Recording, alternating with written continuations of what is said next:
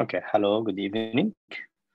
Today, our second uh, discussion and discussion about Fawzia sheet uh, illustrated with diagrams and uh, comments. Uh, very important for your exam in MRCS part A and many, many questions are repeated every exam. I hope my voice is clear. Yes? Yes, yes, yes. Okay, um, picture is clear and screen is clear. Everything clear, Dr. Rana. Okay, thank you, thank you, Dr. Zakir, thank you. Okay, let's uh, start, uh, Dr. Mu'tasim, and please, uh, after Dr. Mu'tasim, uh, another one can just be ready to start. Uh, Dr. Mu'tasim, you can read up to 10 questions, no problem. Okay, you can start, Dr. Mu'tasim.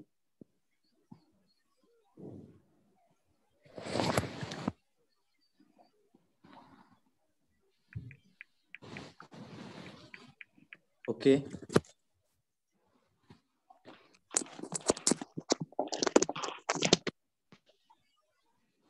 Uh, as 26 years old man, motorcyclist loses one liter of blood secondary to an open fracture of the femur uh, sustained in road traffic accident. Which of the following is most likely earliest compensatory response in hypovolemia in this patient? Baroreceptors induced vasoconstriction, capillary fluid shift, decreased atrial natriuretic peptide, renal fluid retention, renin angiotensin system activation. Um, patient uh, loses one liter of blood. Uh, the earliest compensatory response in hypovolemia will be renin angiotensin. Renin angiotensin, this is uh, decrease the blood flow through the, the renal artery, sensed by the juxtaglomerular apparatus to discuss. But this is not the first. Baroreceptors First. induce the vasoconstriction. Exactly. Baroreceptors is more early, is more early in this uh, Okay. in this uh, problem. By the way, as, as can we remember from the uh, remember from our study in EMRCS, you can remember the, the kidney autoregulator uh, blood pressure. The kidney can maintain a normal glomerular filtration rate, okay, and can keep uh, by uh, autoregulation the blood uh, the blood flow is it in uh, through it. If we can remember, we can remember this number. I think the kidney can also regulate from 160 till 80 systolic blood pressure. There is auto auto regulation. Okay, Okay. that's why the kidney is not the first organ that will respond to the uh, respond to the uh, change in the blood pressure of the patient during after trauma. Okay. Okay. Okay. Next question. Uh, histology, uh, histology of a discrete palpable lump in the breast of a 34-year-old woman has shown uh, apocrine metaplasia, epithelial overgrowth, and papillary projections. Uh, what is the most likely pathological process? Benign breast cyst, carcinoma of the breast, fibroadenoma, phylloid tumor, plasma mastitis.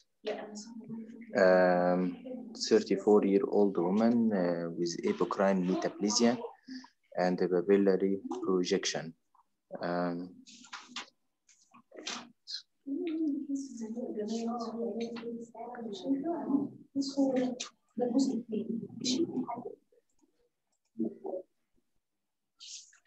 I think it will be. um,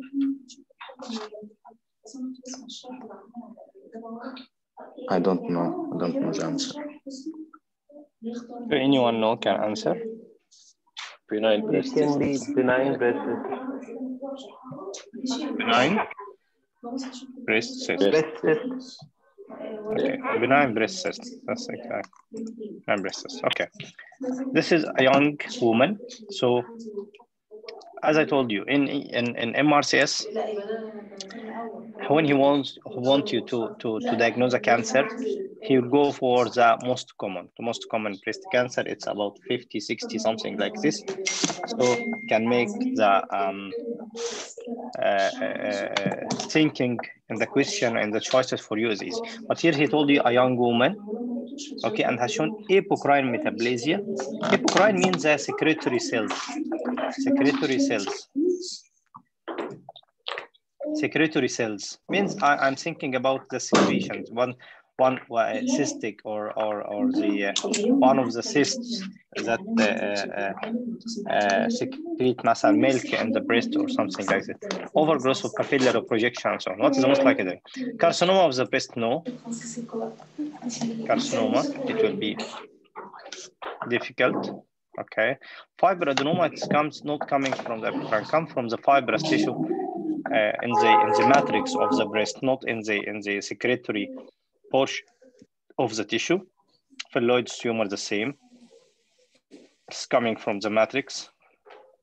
Plasma cell mastocyte, it is not an inflammation. This is an inflammation, but this is an overgrowth. Of, so the most common or the most near answer will be benign breast cancer. Breast, benign breast cyst. Okay. Okay. Benign breast. Okay, next. Um, 35-year-old woman presents with recurrent peptic ulceration. She is on proton pump inhibitor previously received Helicobacter pylori eradication therapy three months ago.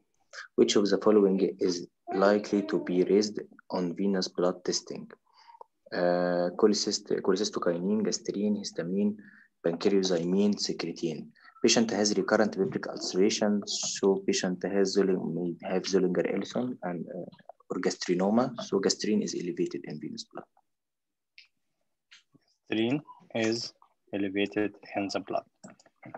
So as we said, recurrent peptic ulceration in a young age, you have to think about gastrin, okay, or uh, and, and he will tell you in spite of uh, he received medication, long time proton pump, and so on.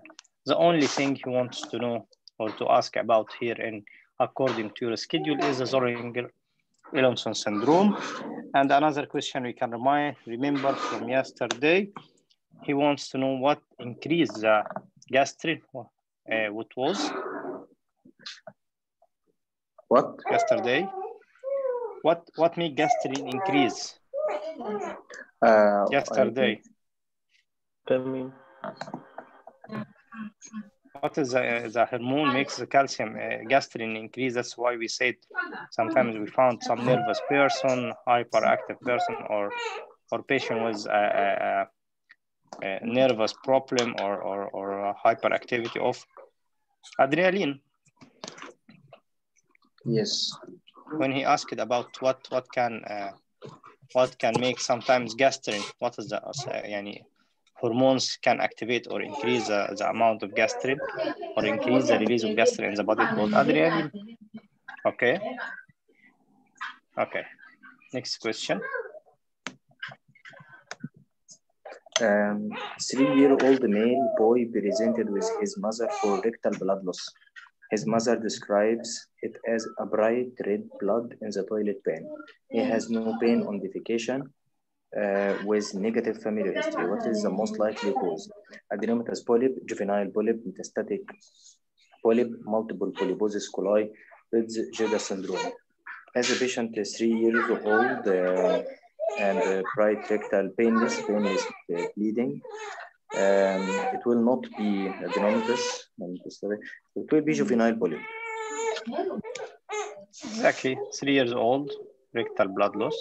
His mother described a bright red blood coming in the toilet, no pain identification with negative family history, and, and, and he didn't uh, describe anything about uh, uh, Peutz-Jeghers syndrome or, or I think this repeated question. Repeated from uh, yes, yes, yes sir, from the juvenile polyp. Okay, next question. A 32-year-old man presents with painful torticollis. There is no past medical history, and uh, and his only complaint is that he has been feeling rather tired over the last four nights.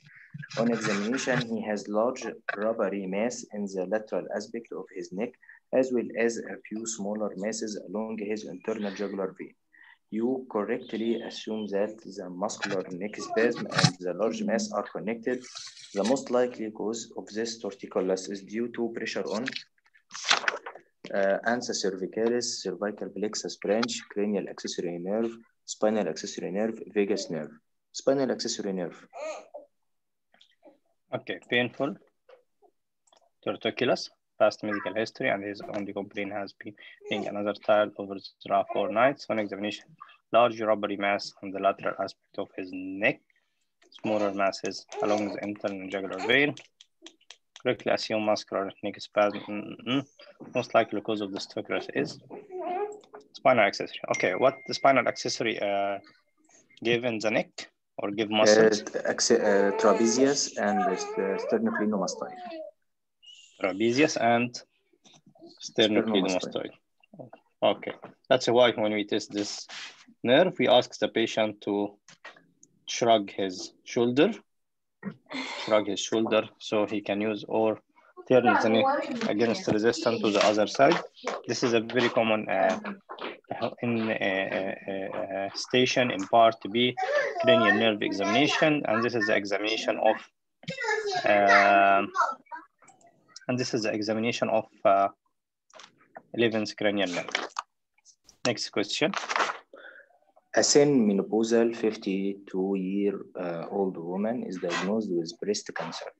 Her menarche was at the age of 14. She had her first child at age of 40 years.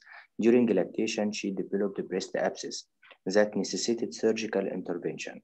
She has no family history of breast cancer. Which of the following is the most significant risk factor for this patient? Age at first full term uh, pregnancy, familial predisposition, history of breast abscess, um, interval between uh, menarche and menopause, physical structure. Uh, the patient uh, patient had uh, early menarche at age of 14. She had her first time 40 during lactation. I think interval interval between menarche and menopause.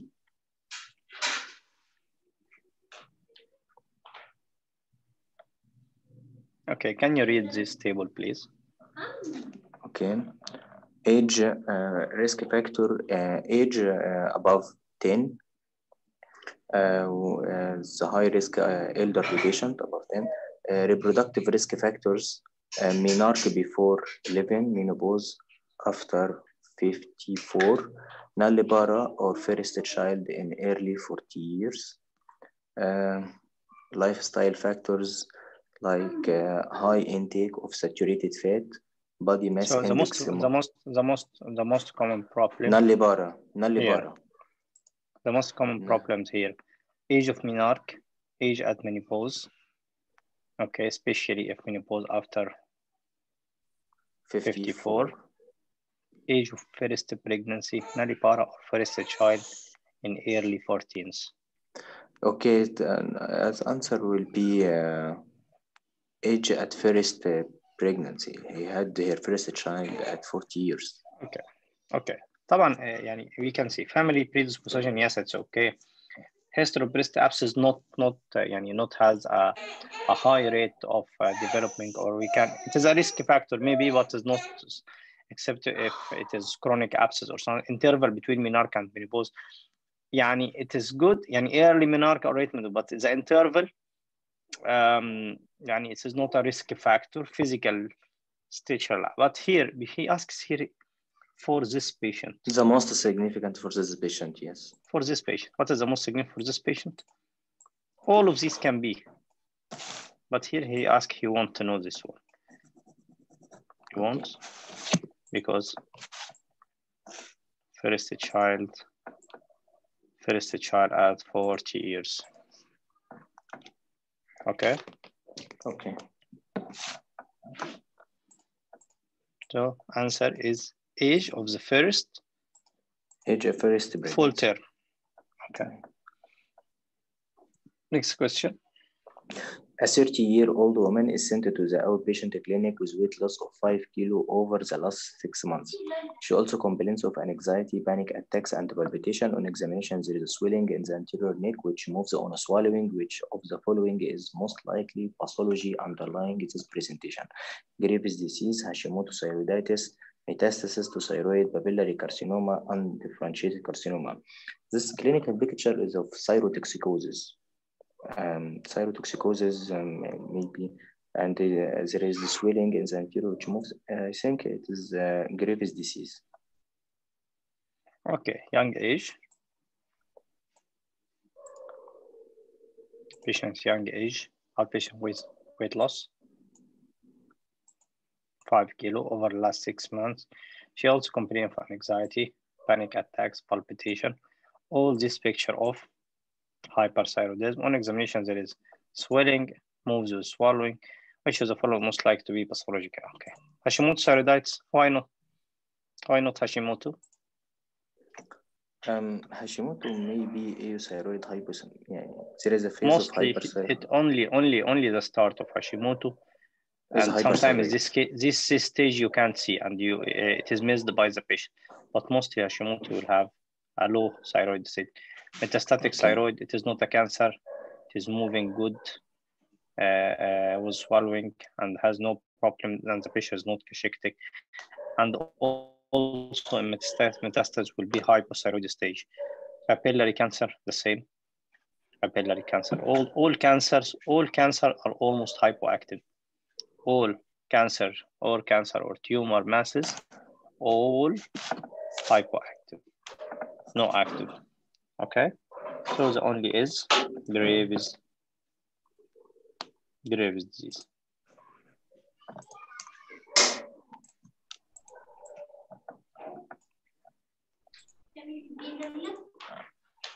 Next question. A 69-year-old man has been admitted to the high dependency unit following an anterior resection under general anesthesia. He was given 2 milligram of, of intrathecal morphine. On examination, he looks pale and drowsy. Arterial blood gases results are uh, pH uh, 7.28, which is acido- acidosis, um, uh, PCO2 8.1, uh, PO2 10, uh, Uh, please PCO2 is, PCO2 is increased, so it is respiratory acidosis. is it acidosis as well? So we have here acidosis and we have here acidosis. So continue. Uh, base excess minus uh, 2.1, uh, glucose uh, 20, 21 millimole, lactate 4 millimole per liter, which is increased. Okay. Which of the following is most likely diagnosis? Diabetic ketoacidosis, metabolic acidosis, metabolic alkalosis. What will you search in the question? I'm searching for acidosis, respiratory, Okay. So respi- respiratory acidosis. exactly. You are going here for respiratory, metabolic wrong, metabolic wrong, don't continue. Respiratory, we have two respiratory acidosis and alkalosis, and this case is respiratory acidosis. Simply. Uh, uh, but Simply I'm think about- why lactate Hmm. is increased. Um, lactate will be post-operative. Post-operative, you have tissue damage. Okay, okay, You, you expect to have lactate increase. And the patient in post-operative stress, you expect uh, the patient is hyperglycemic. okay, Okay. okay. Some, th- some things in the scenario are confusing, but just here. If diabetic ketoacidosis, it will equal metabolic acidosis. Metabolic acidosis. Both of them the same. Yeah? Diabetic acidosis is a type of metabolic acidosis. It's a type of metabolic acidosis. Yes, A and B is the same answer. Are the It's the same answer. But here is no metabolic acidosis. And he didn't even mention the PCHCO3, the HCO3. Okay, Okay. okay. Next question. Um, a 32-year-old woman has a pigmented lesion excised from her left cup. The histopathological diagnosis is melanoma in situ, which is completely excised with a one centimeter margin. What is the next most appropriate management? Uh, education about skin self-examination and discharge from uh, follow-up, elective inguinal lymph node dissection, re-resection with two centimeter margin, removal of any other pigmented lesion, sentinel lymph node biopsy. Um, 32-year-old woman uh, excise from the top pelvis histological one centimeter margin.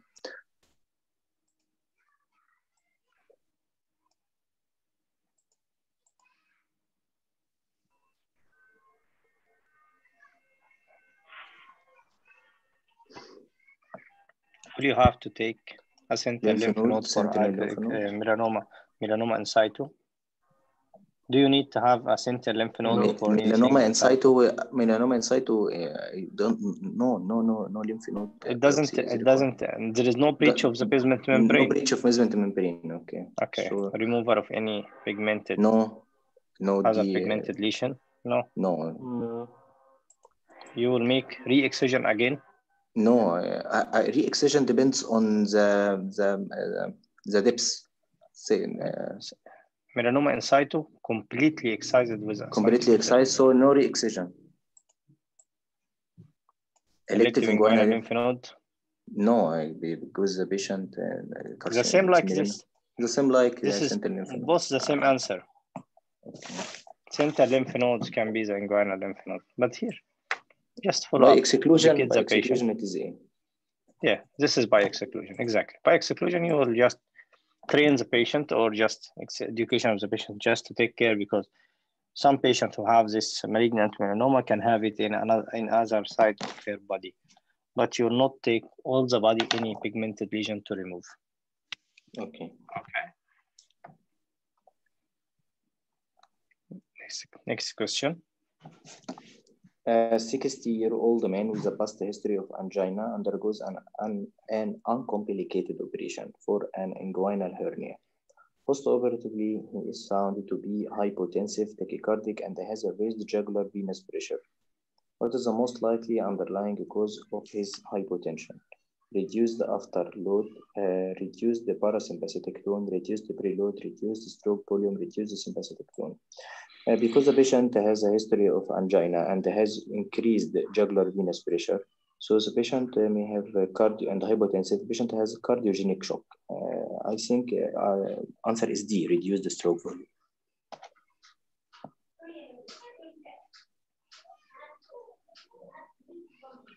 Exactly. Similar scenario was yesterday when you when he asked you or tell you that the patient has a cardiac problem and post-operative start the patient to have hypotension, uh, tachycardia or bradycardia or low blood pressure and so on, the first thing will come in your mind that the patient may have prone to cardiogenic shock. In cardiogenic shock, the patient will have a reduced stroke volume from the heart. The heart pump will not get enough blood for pumping, so it will be uh, uh, cardiogenic shock, reducing the stroke volume. Okay, thank you, Dr. Mu'tasim. Who's ready to go after Dr. Mu'tasim? I'm ready. Dr. Ahmed Aziz, تفضل. Uh, background this vo- uh, noise. Uh, I did it, okay. okay, okay. Um, a four-year-old boy presents to the emergency department with a two-day history of fever, difficulty walking, and is unable to weight bear on the right leg. He has been on oral amoxicillin in 150 milligrams three times a day for a chest infection over the last five days. He is irritable with a temperature of 79.4. He does not allow examination and keeps his right hip flexed and adducted. Blood tests are um, WBC um, 18.3, CRP 146, hemoglobin is 11.3. What is the most likely diagnosis? This is a picture of uh, post-inflammatory septic arthritis. D. Perfect, Septic All, all other uh, options are other options are not uh, have including any inflammations only like uh, uh, dislocation of hip Perthes disease, slipped upper uh, femoral epiphysis. So only one is septic arthritis.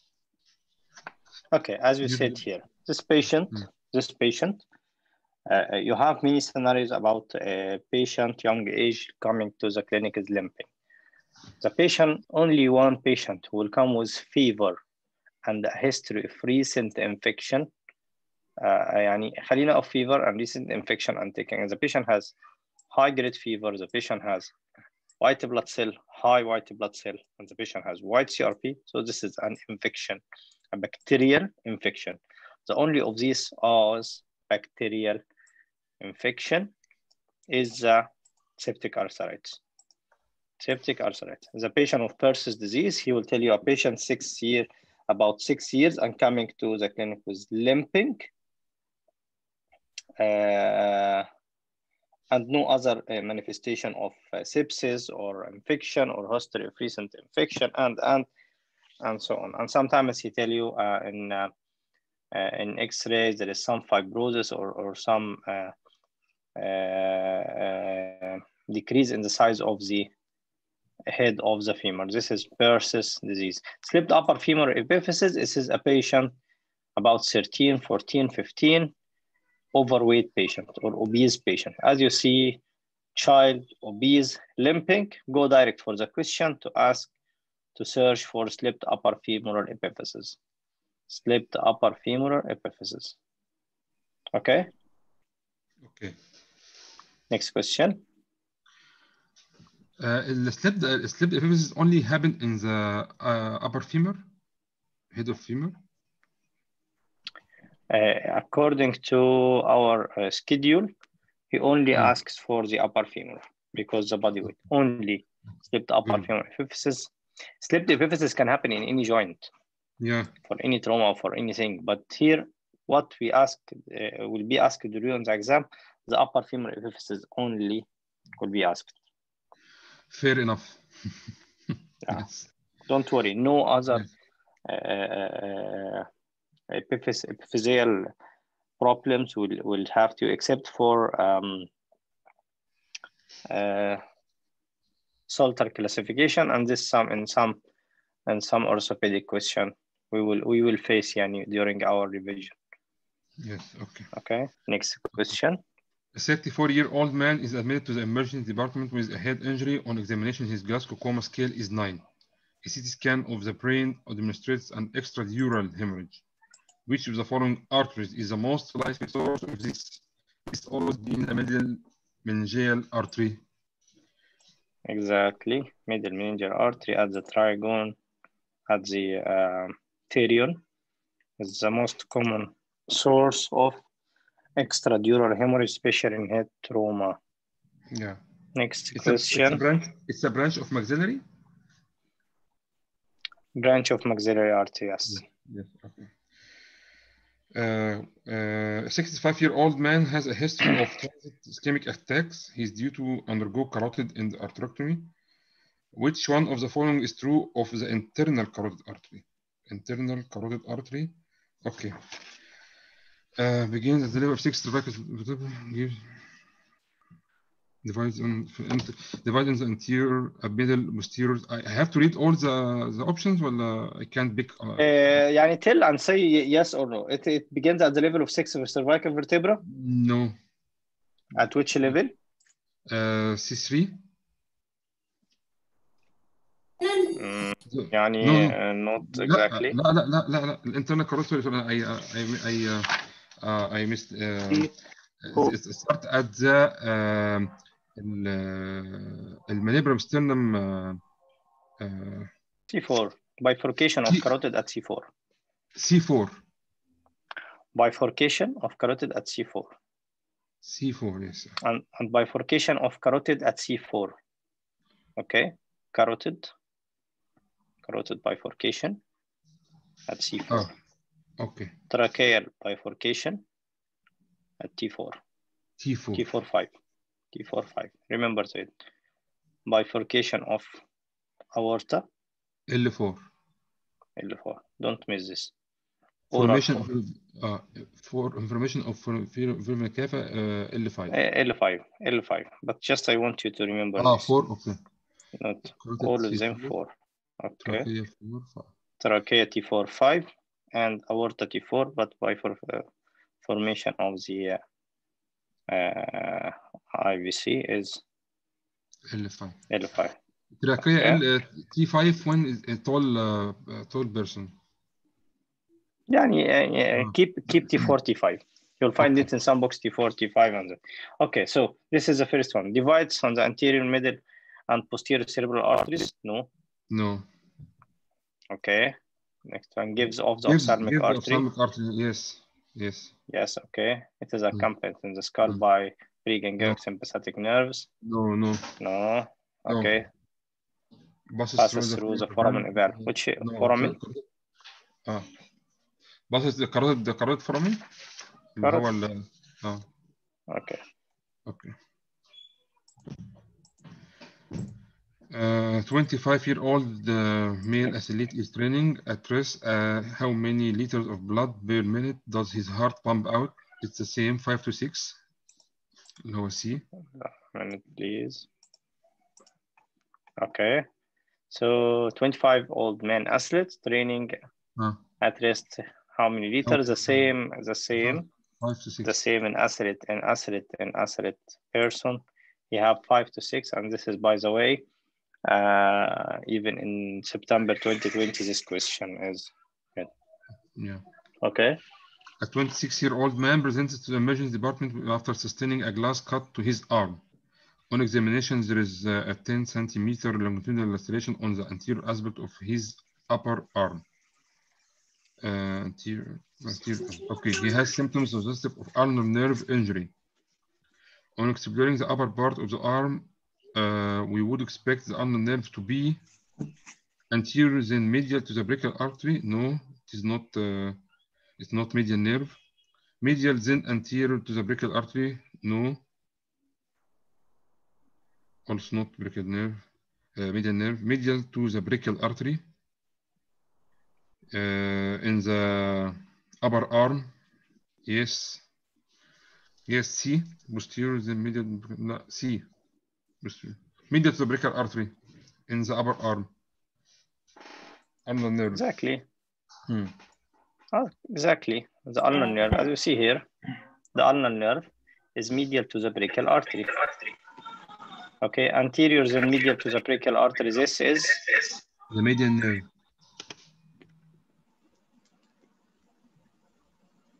When the crossing. okay. Um, okay. Uh, medial then anterior. Nothing. Posterior then medial.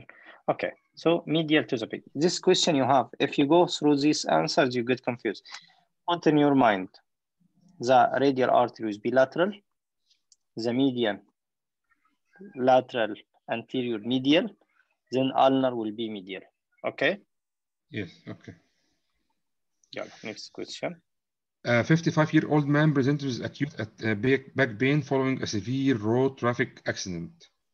Neurological examination reveals the lack of sensation of the umbilicus.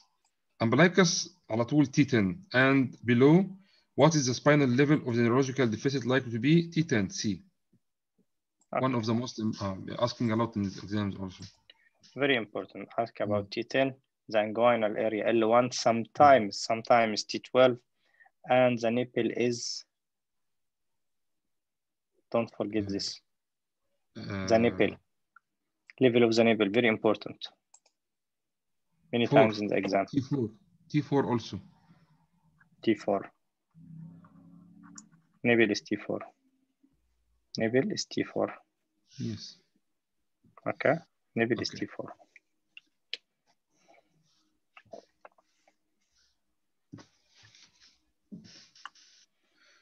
Of course, and the هو الترانس pyloric plane also one of the most L1. L1. But this is the dermatomes. This is the dermatomes that's very important. Nipple. Ah. T4, umbilicus T10, inguinal area L1, sometimes T12. Yes. And sometimes they tell you a patient undergoing a hernia repair, inguinal hernia repair under local anesthesia, which level? L1. T12 if you L1. didn't find L, if you didn't find L1, you'll find T12. Okay. but he will not put both of them at the same time. Okay, next question. A 65 year old man complains of being thirsty and getting up in the middle of the night to get to the toilet. His weight is 95.5 kilogram, height is 1.65 uh, meter, in and uh, and the and the blood pressure 167 over 94 millimeter mercury. An oral glucose tolerance test was performed and produced the following results. The um, uh, uh, two hours plasma glucose 11.3. This diabetes mellitus Okay. above 10. Ah, Any any one of these, any one of these. Let's go for this. Diabetes mellitus, diabetes. If the patient fasting, you find this, or and keep this, and or. If the patient after two hours, more than 11.1. That is. Okay, another question you have, impaired glucose tolerance. Impaired glucose tolerance. There is some, some sort, what, what's called impaired fasting? No, this is the other question will come. You find the patient normally like this. The patient will have uh, uh, uh, impaired glucose tolerance at fasting. Fasting, you'll find it impaired. Okay, you'll find it less, but less than seven, less than seven. It is more than the normal, more than five, but less than seven. Okay, but if you did for the patient, the after two hours, you will find it within the this range.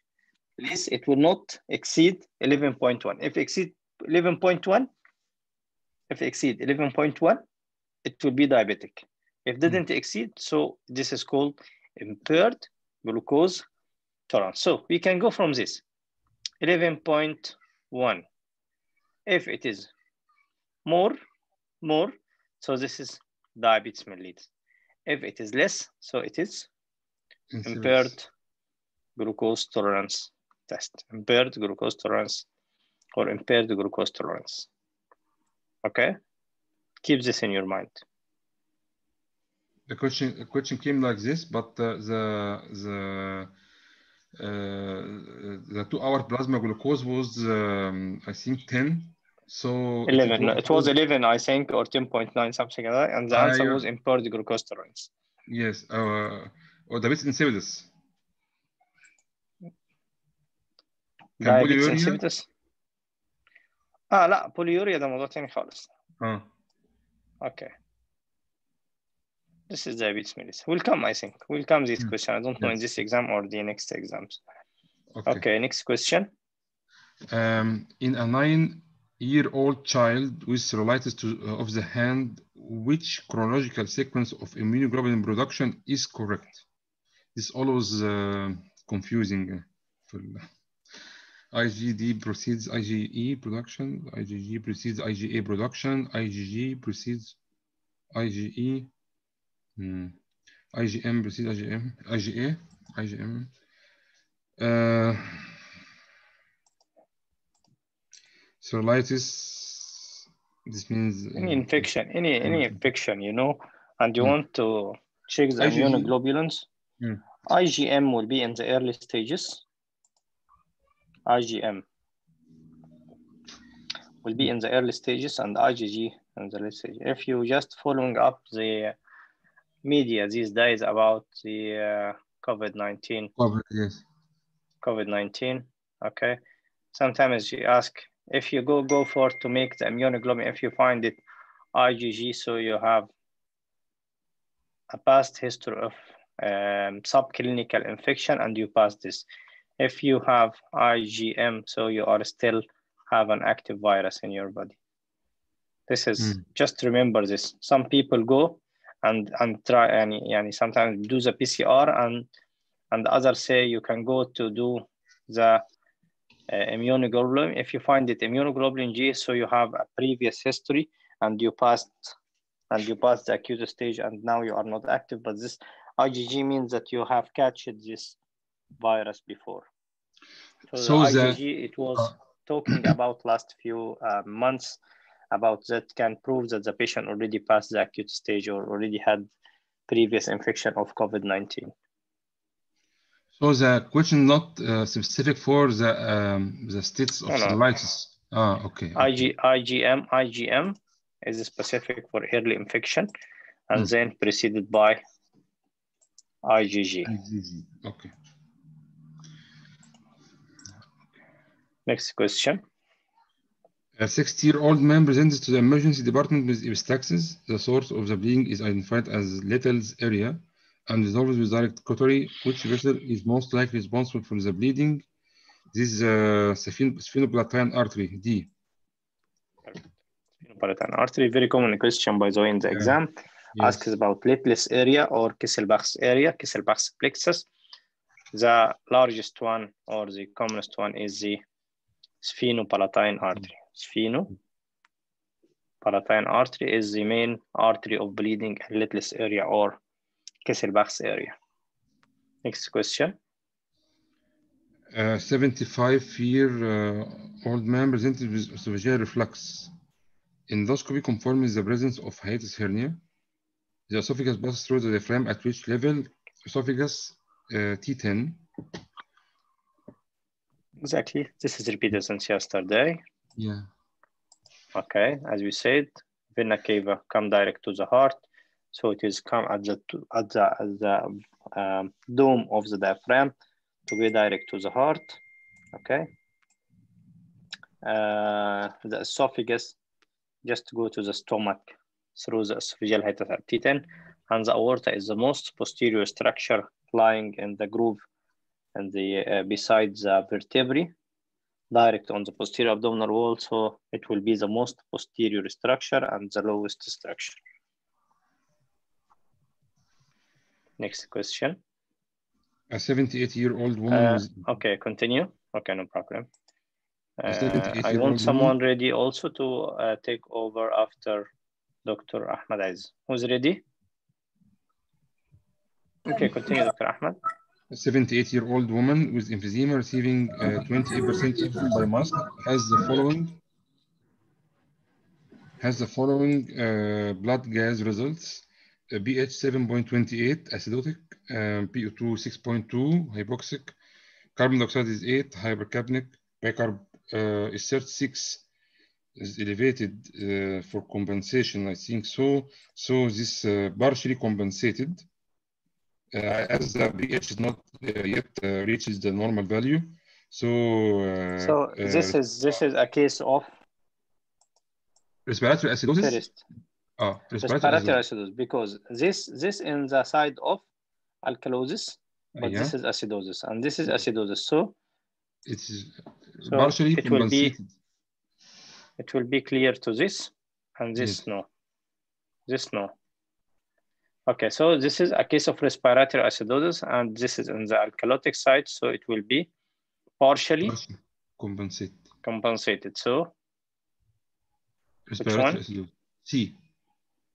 okay, partially compensated respiratory. If the pH is seven, if the pH is seven point three, thirty-two, uh, thirty-four, it will be fully compensated. at least 35, 35, 36, something like this. It Ah. will be fully compensated. Ah, okay. Thank you. Okay, Dr. Mu'tasim, thank you. Who else can start with Dr. Mu'tasim and Dr. Ahmed? Okay, I am ready. I'm sorry. I'm sorry for the noise background at the start. No, no, no problem, no problem. Do you want to take more till someone Oh. else is ready? Who's Okay, else I am ready. is ready? Can it participate? Okay, please raise hand. Anyone can participate, also can raise hand, okay? Yeah, Dr. Mu'tasim, you can continue till someone. Start. Okay.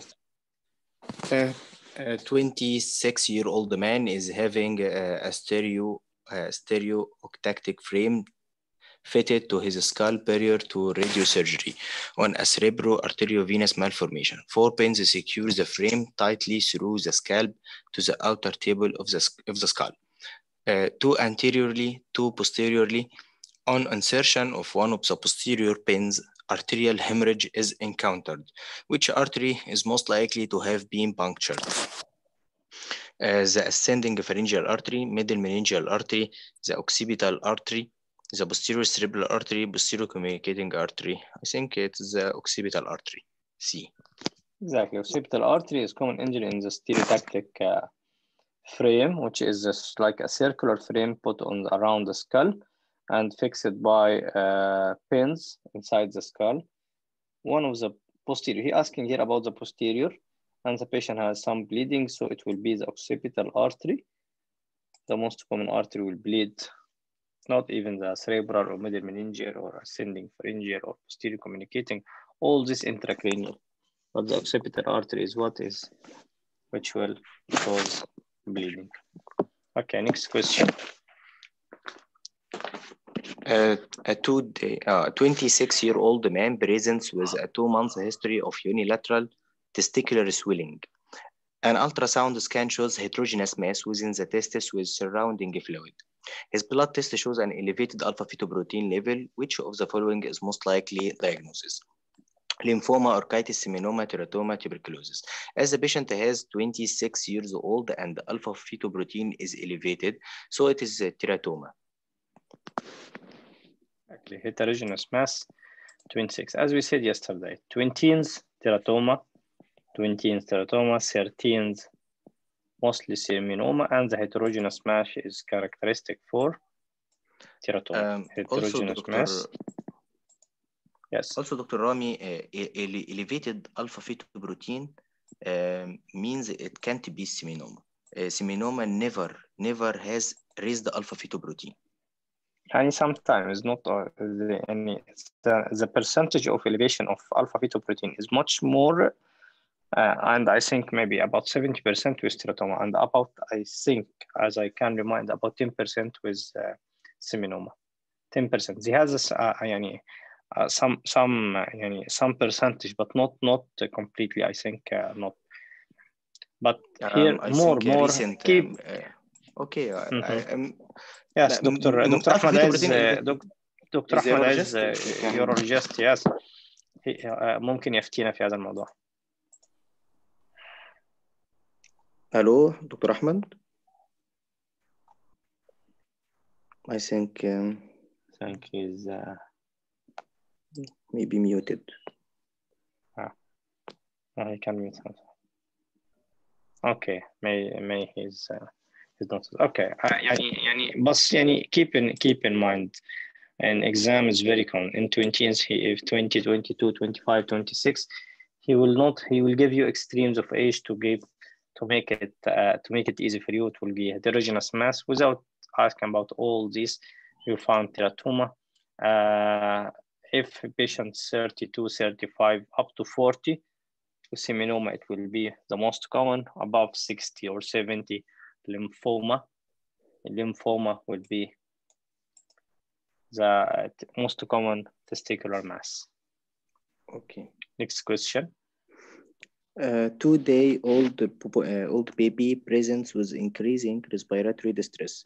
He was born at term by normal vaginal delivery. On examination, he has cyanosis of the lower limbs and marked respi- and marked respiratory indrawing of the of the chest. His femoral pulses are absent bilaterally uh, and has been anuric for the past two hours. Pulse rate is 140 beats per minute, regular, and his blood pressure is 60 over 30 millimeter mercury in both upper limbs. What is the most likely diagnosis? Hypoplastic left heart syndrome, interrupted aortic arch, pulmonary atresia, and ventricular septal defect, transposition of great arteries, tricuspid atresia. Patient has uh, cyanosis of, uh, of both lower limb and the marked respiratory. His femoral pulses are absent bilaterally and has been anuric for past two hours.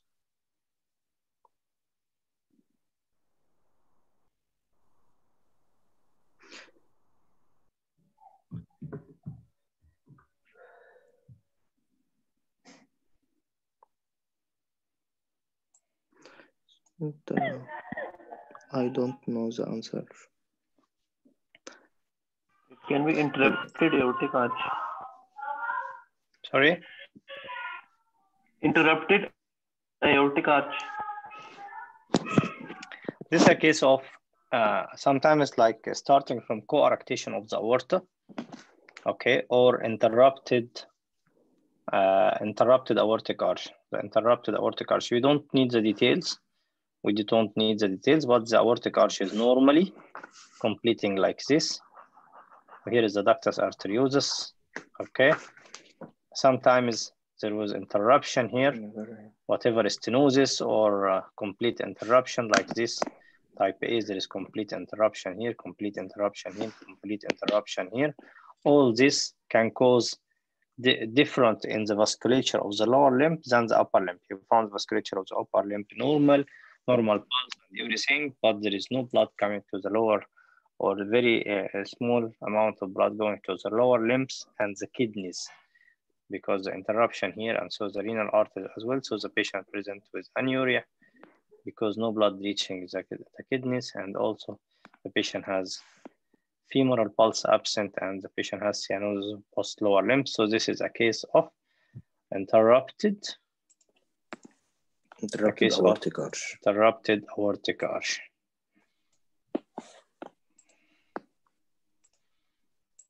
هذا tricuspid atresia no transposition of TGA no not in يعني uh, uh, it will not be uh, presented by a lower limb lower limb only pulmonary atresia no and ventricular septal defect all this the only one that there is no blood coming to the lower limbs and the lower abdomen which is interrupted aortic arch okay you can read this please Uh, interrupted aortic arch is defined as complete separation of ascending and descending aorta. Uh, criteria uh, and Patton, Celoria and Patton classification. Uh, type A, we don't need this. Type A, interruption of the distal, distal to the subclavian, interruption of between second carotid and ipsilateral subclavian. Type C, interruption between carotids. This one, this is the most severe one. So one side of the head will take carotid, the other side. We don't need this, but just with this. The definition is complete separation of ascending and descending aorta. Okay, next question. Um, 50 years old woman presents with a history of right upper quadrant pain and jaundice. She reports that her urine was dark in color and that her stool are offensive and difficult to flush. Uh, which of the following explains the dark urine? Increased uh, in conjugated Yesterday, bilirubinuria. this question. Yes, uh, it, it was uh, uh, conju uh, uh, conjugated, uh, increased conjugated bilirubinuria. Yes, as we said yesterday, yesterday conjugated bilirubin. Uh, conjugated bilirubin has two ways. If it is present in urine, it will increase dark urine, and at the same time, it's normally in stool. If it is absent from stool, it is absent from stool, it will have pale stool. Okay, this is very important about conjugated, conjugated bilirubin. Next question. An 80 year old woman who has suffered a fall is found lying on the floor where she has been for over 12 hours. Initial assessment shows that she has a core temperature of 28 degrees Celsius. What would the expected early physiological response to her body temperature be? Uh, increased fat metabolism, increased the constriction of peripheral blood vessels, increased hypothalamic set point, increased metabolic rate, uh, increased thyroid activity. Um,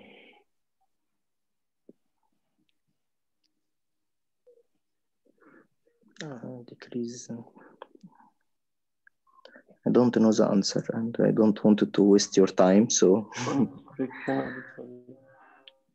No one can answer this question.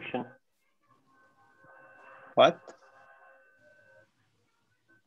Vasoconstriction, B option. B option, exactly.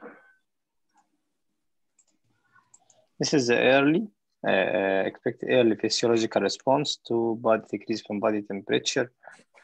Uh, there will be constriction of the peripheral blood vessel to, because uh, the, the skin, the skin is not an important organ.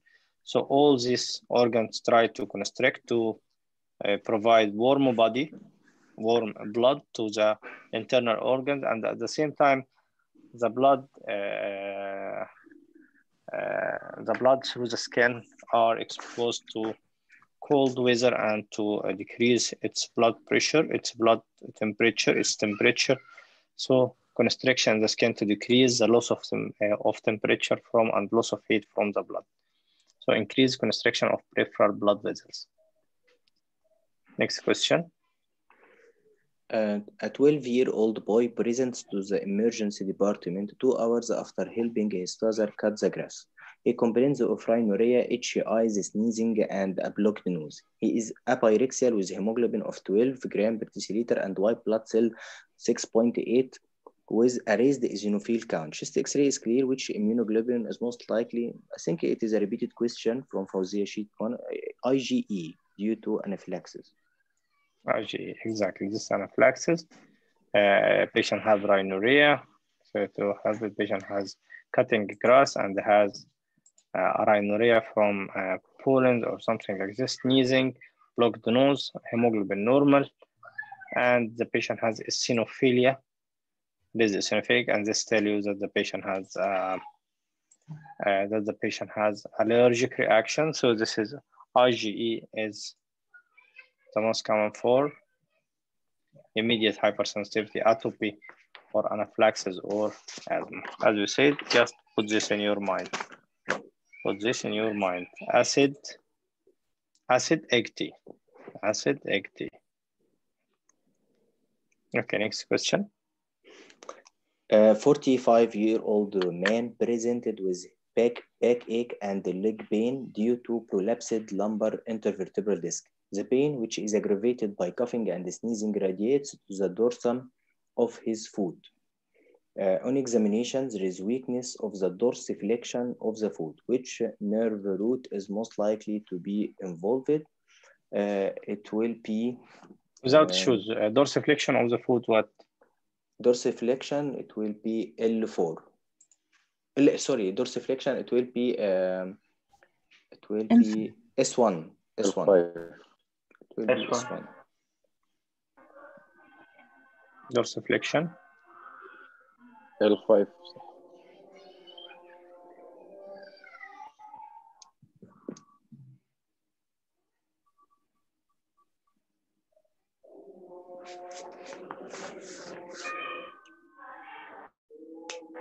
We said yesterday.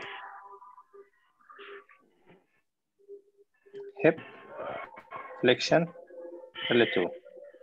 Knee extension, L3. Foot dorsiflexion, L4.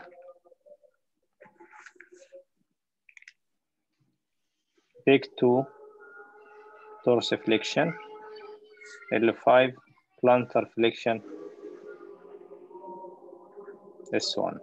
The friction is one. Yes. Okay, two, three, four, five, S1.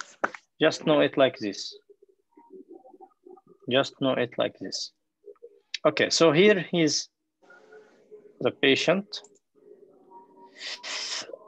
Back pain due to prolapsed lumbar intervertebral disc aggravated with coughing, sneezing. Okay, so this is lumbar disc prolapse.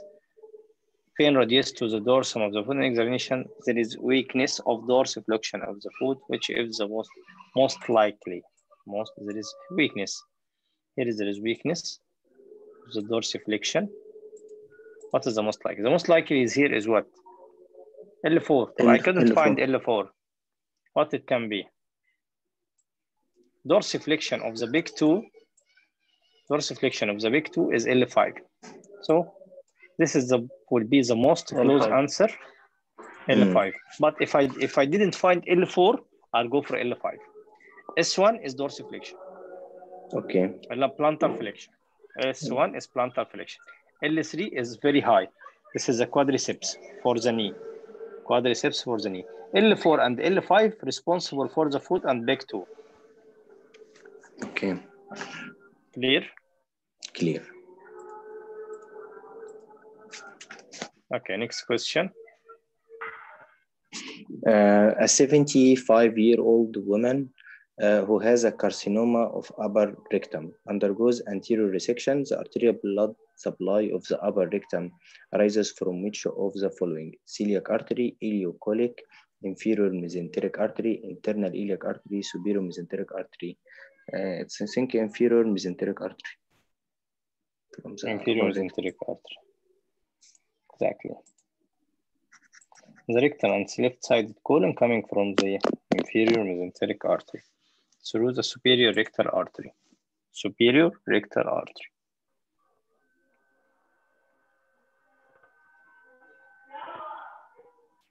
Okay, next question. A 65 year old man is undergoing an abdominal aortogram.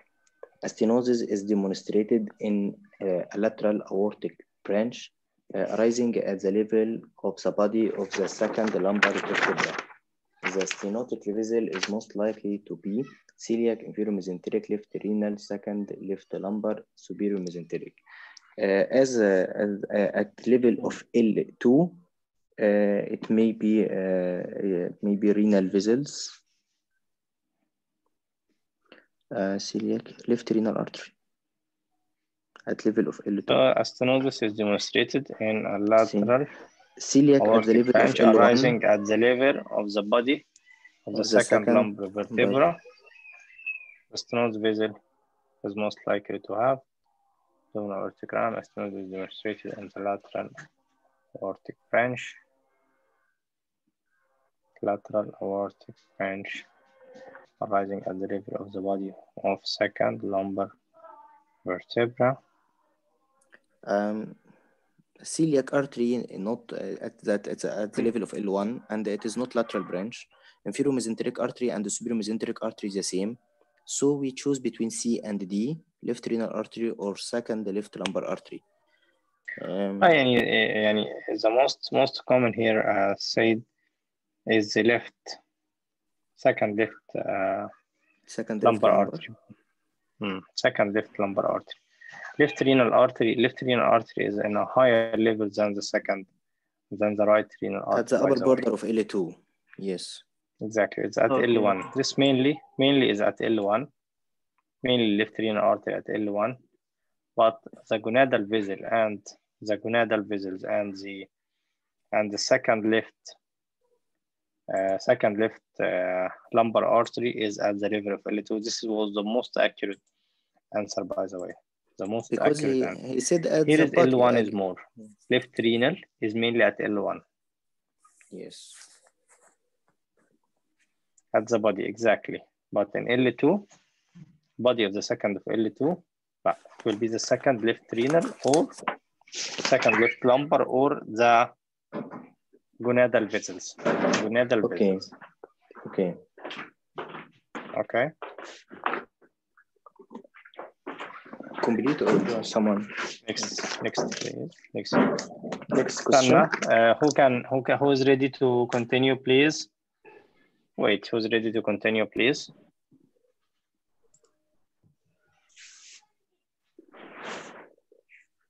Hello, Dr. Gazna. Dr. Ahmad Al-Mursi. Dr. Dalia. Dr. Dr. Gazna. At least they should uh, uh, have one one question or two questions, question to participate all. Can I go Sorry? with question 31? Yeah, Dr. Rami, eh, eh, all okay. they should try to participate. I, I want to all to participate. By the way, if you didn't trans, uh, participate, really, it you'll find it easy. I want to break the exam uh, fear and the exam and anxiety. Reading the question, question, it makes this very easy. Yes, yes, oh, doctor doctor Who wants to participate, doctor? Indu, who, who want to part Dr. Indu. okay Dr. Indu. okay you can uh, go for the next 10 questions please yeah. A 40 year old man is admitted to the surgical day case unit for repair of his uh, left inguinal hernia. On examination, he is noted to have diffuse skin tanning, spotty pigmentation of the elbows, nipples, and buttocks, and pigmentation of the scar from a previous right inguinal hernia repair. Three hours after the operation, B becomes severely hypotensive. What is the most likely cause? ACTH deficiency, adrenal insufficiency, growth hormone deficiency, potassium deficiency, and thyroxine deficiency. This is um,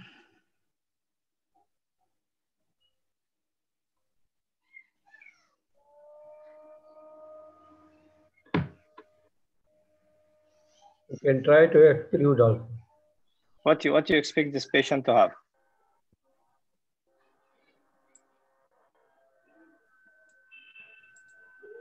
What is this picture of diffuse skin tanning, spotty pigmentation, elbow, nipple, especially the buttocks? Yani you have a very uh, uh, key answer here, very common key answer. You only find it in, in, in, in this in this part of disease through your study in MRCS or past test, pigmentation of the buttocks or pigmentation of the body, elbows, nipples, and buttocks. This is characteristic for what? Addison's disease. Addison disease, hyperpigmentation, if you can see it. Hyperpigmentation is a characteristic for Addison disease. Characteristic for Addison disease and the body, by the way, it is a mnemonic when you go for the exam and you find patient has tanning, spotty pigmentation, especially, and he mentioned the buttocks. This patient 100% it is Addison disease.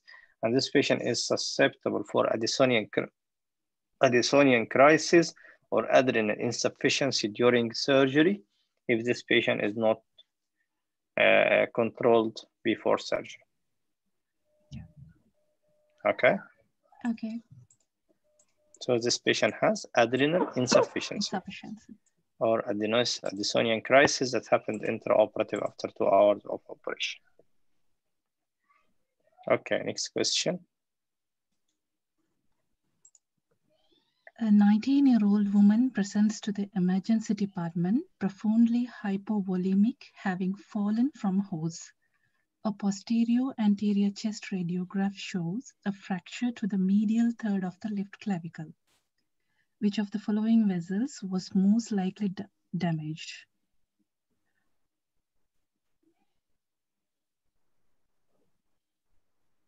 Nineteen-year-old woman.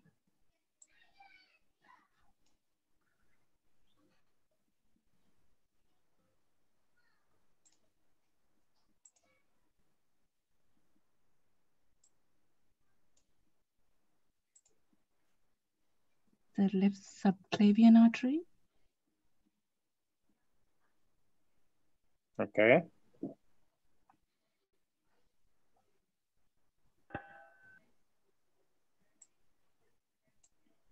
Left subclavian artery. Left subclavian artery. Patient is profoundly hypovolemic. After fistula, this is big artery has been uh, injured and the medial third of the left clavicle, the medial third. So here is the most common will be the artery or the vein, the artery of the vein. So the artery will be the most common here. There is no the vein, the artery. Sometimes confusing if you get the artery and the vein. And this is by the, uh, I saw one question before, but it was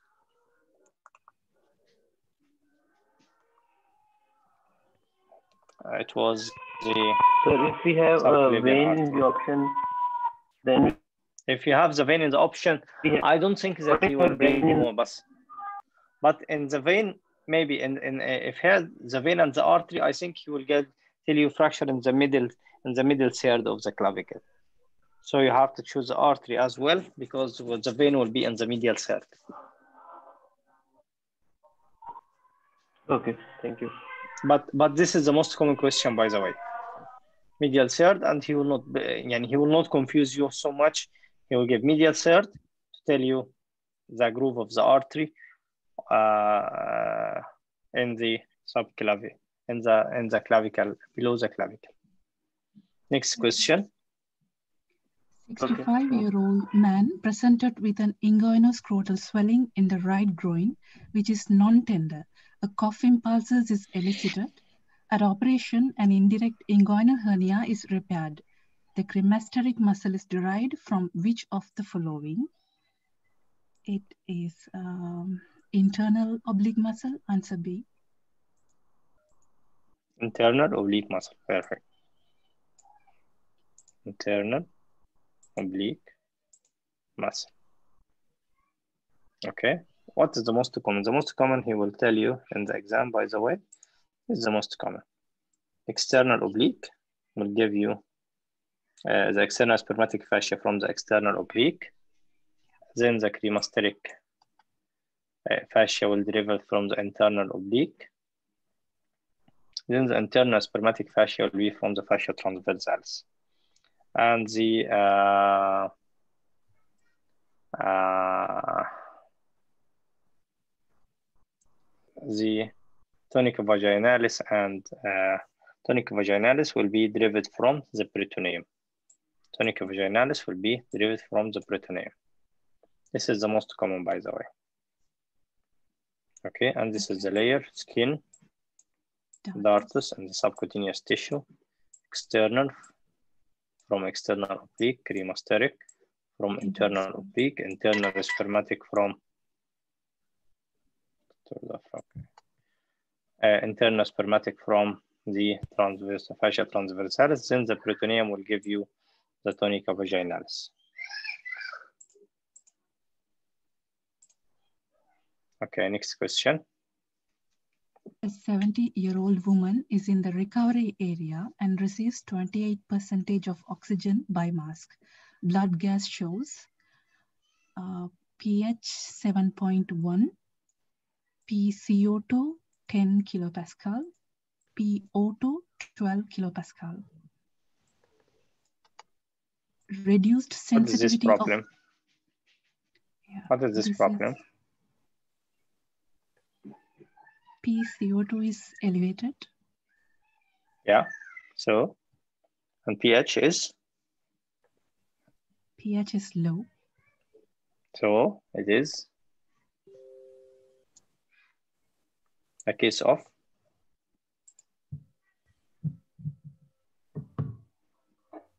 what type of metabolic disturbance? Respiratory acidosis, exactly. Okay.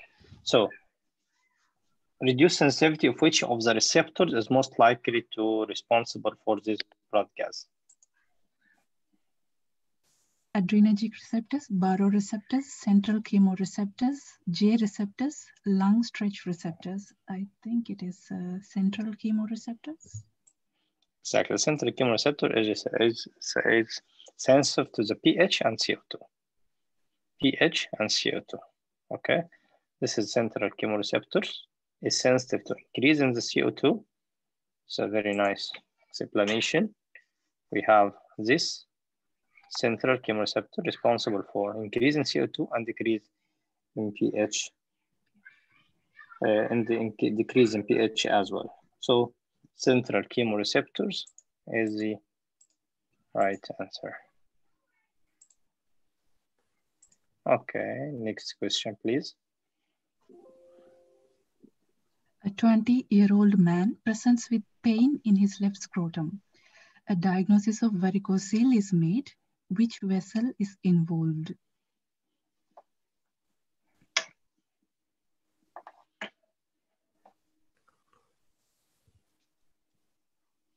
What is the veins responsible for varicose veins?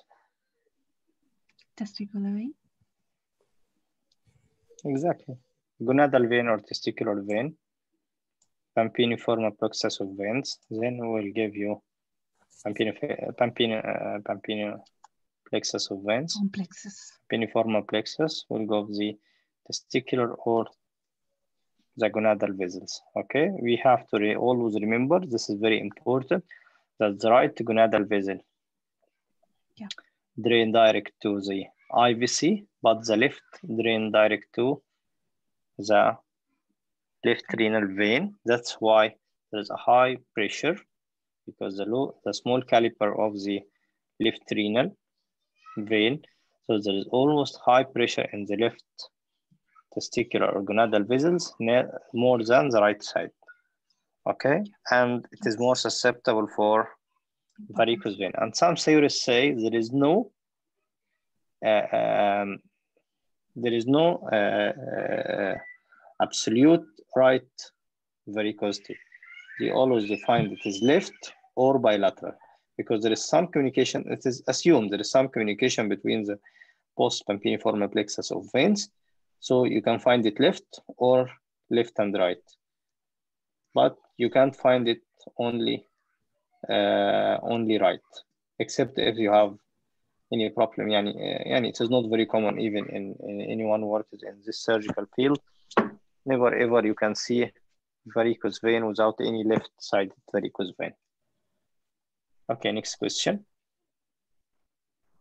A 60 year old man who is a heavy smoker presents with a 10 days history of a frank, painless hematuria. His prostate is slightly enlarged on rectal examination. His hemoglobin is 11.3, creatinine 84, and prostate specific antigen is 3.1. What is the most likely pathological process? Benign prostatic hyperplasia, prostate cancer, renal cell carcinoma, transitional cell carcinoma of bladder, urinary tract infection. In a patient who is a heavy smoker with a history of frank painless hematuria, enlarged prostate, PSA is 3.1, uh, suggestive of transitional cell carcinoma of bladder. Exactly. Transitional. This patient is old patient. Okay. Heavy smoker. Sorry. Heavy smoker. And have frank hematuria. So what is the most common pathology associated with frank hematuria and heavy smoker patient? And he wants to tell you that the prostatic specific antigen and the creatinine and all this are not highly elevated. So he wants you to go away from prostatic cancer. So this is transitional cell carcinoma of the bladder, and this is associated also with heavy smoker.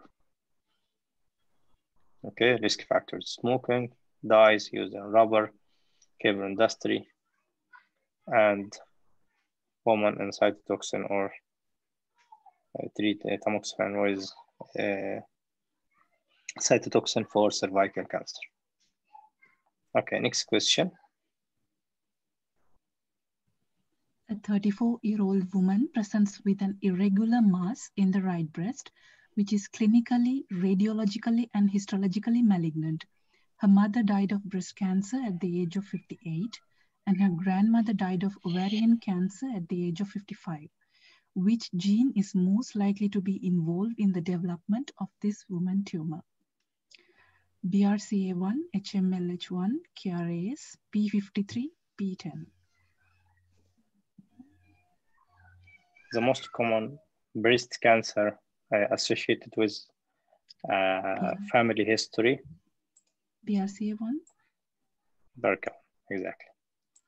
BRCA, this is the most common gene associated with familial or inherited breast cancer is the BRCA. All these are, by the way, are the carcinogenic uh, uh, oncogenes, but BRCA1, BRCA1 and BRCA2 are the most common associated with breast cancer. You can see breast cancer here in this nice uh, diagram. Uh, CHEK and PTEN and ATM and P53 and many, many other oncogenes can be responsible for breast cancer, but you can see the BRCA1 and BRCA2 have the most common and the uh, most likely to be involved in breast cancer. Okay, yes. next question. 65-year-old man presents with a non-tender swelling in the right hemiscrotum. At operation, the hydrocele sac is opened and 400 milliliter of fluid is drained. Which anatomical structure surrounds the fluid? Dartos muscle, patent processus vaginalis, testicular capsule, tunica albuginea, tunica vaginalis. Answer tunica vaginalis E. Okay, tunica vaginalis. is a layer surrounds this fluid. From which layer it is derived?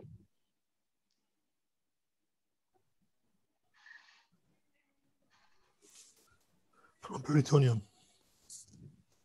Peritoneum. Thanks, Dr. Duffer. Welcome Oh. back. Thank you very much. Be ready for the next 10 question, Dr. Duffer. I'm ready. Okay, Dr. Mm. Indu. Okay. A Continue, Dr. old Yes. A 24 year old man is brought to the emergency department following a road traffic accident. He has obvious airway compromise due to mouth facial hemorrhage, which requires a surgical airway. The surface landmarks used to localize the optimal site for a tracheostomy incision are midway between the suprasternal notch and which of the following? Cricoid, hyoid, mastoid, laryngeal prominence, thyroid. It is cricoid, answer A. Cricoid, exactly. Midway between the cricoid and suprasternal notch is a optimal site for tracheostomy incision. As we see here, cricoid cartilage and sternal notch. Transverse incision. Okay, Yes. next and last question, please. A 60-year-old man has an anterior resection for a high rectal carcinoma. The histopathology report indicates the lesion is Duke stage B. What is the appropriate, approximate average five-year survival rate for patients with these lesions? Look to the photo. Five-year survival for each stage, Uh, 70 percentage, answer D. 70%. Excuse me, Dr. Rami, this uh, is a co- uh, common question, common exams? Yes. Came to me on my exam. The percentage or the, Uh, the Duke's classification? Duke's classification percentage is a very common question in the exam. Put in your mind, first one, stage A or Duke's A, 95. By the way, he will not confuse you. You will find 90 and 95, you will not find 80, you'll find 70 or something like this. A stage, a stage one or Duke's A is 95. Is 95, okay?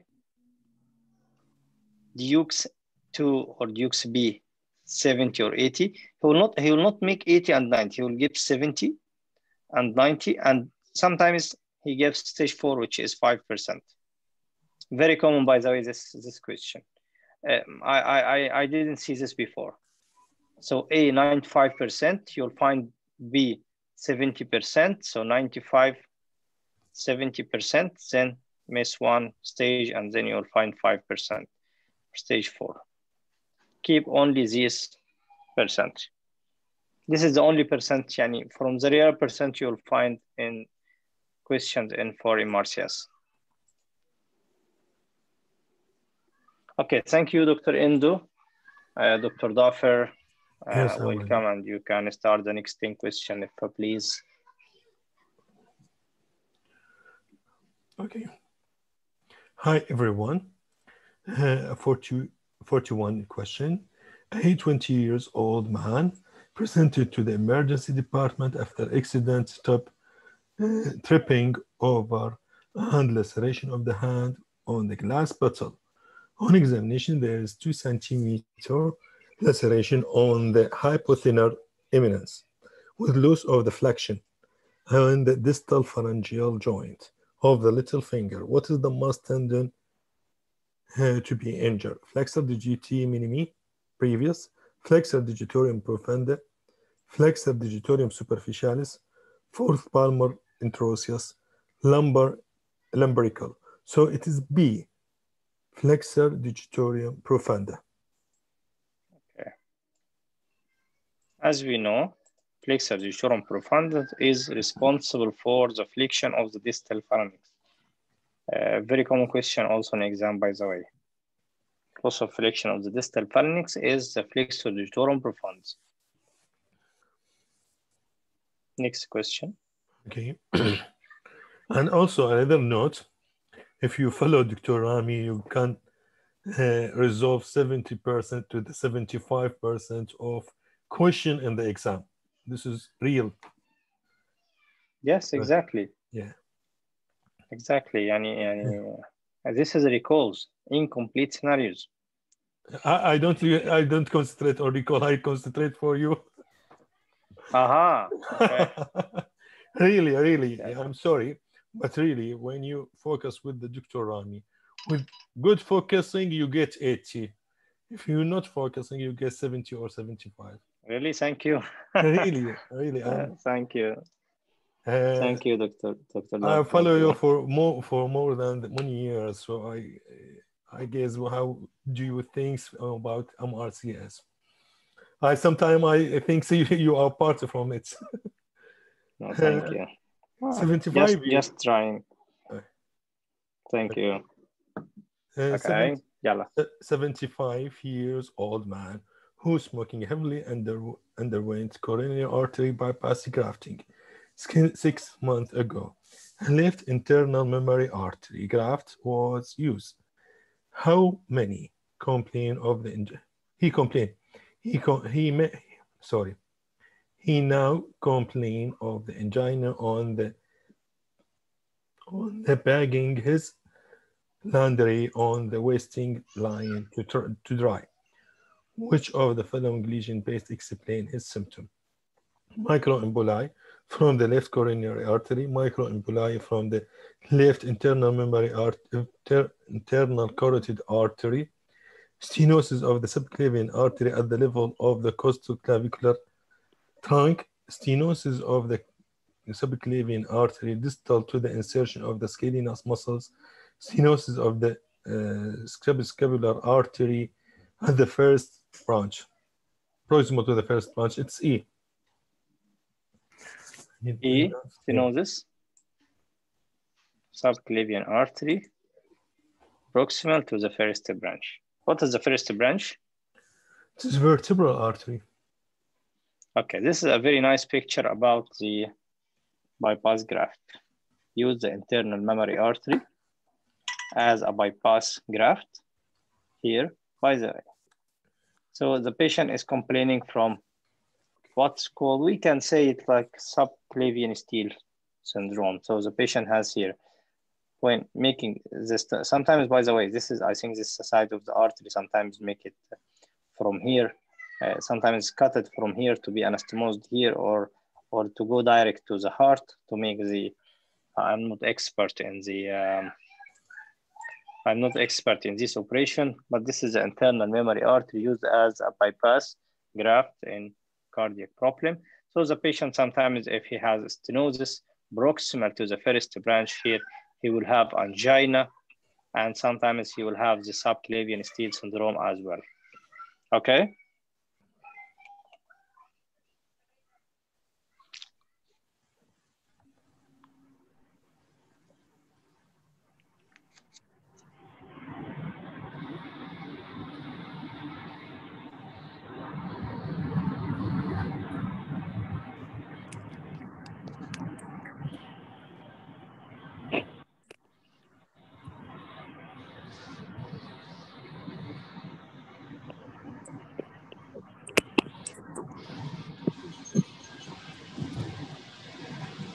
Okay, sorry. Yeah. Sorry. Haras. okay, clear about this question? Yeah. Okay, next question, please. A 50 years old alcohol man presented to emergency department and is found to be unable to extend his wrist, thumb and finger of his right hand. He is also found to have weakness extension of the right elbow, joint, and loss of the uh, sensation of the dorsum or the first web space. Which nerve is most likely to have injuries? Median nerve, musculocutaneous nerve, posterior cutaneous nerve, radial nerve, and ulnar nerve. It is radial. Radial. Radial nerve. Yes, exactly.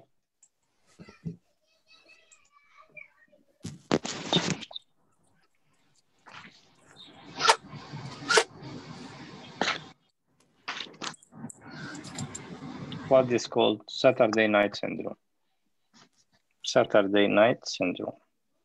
This is very common, by the way, alcoholic man and, and, and, and he stayed, or sometimes crutch, crutch palsy.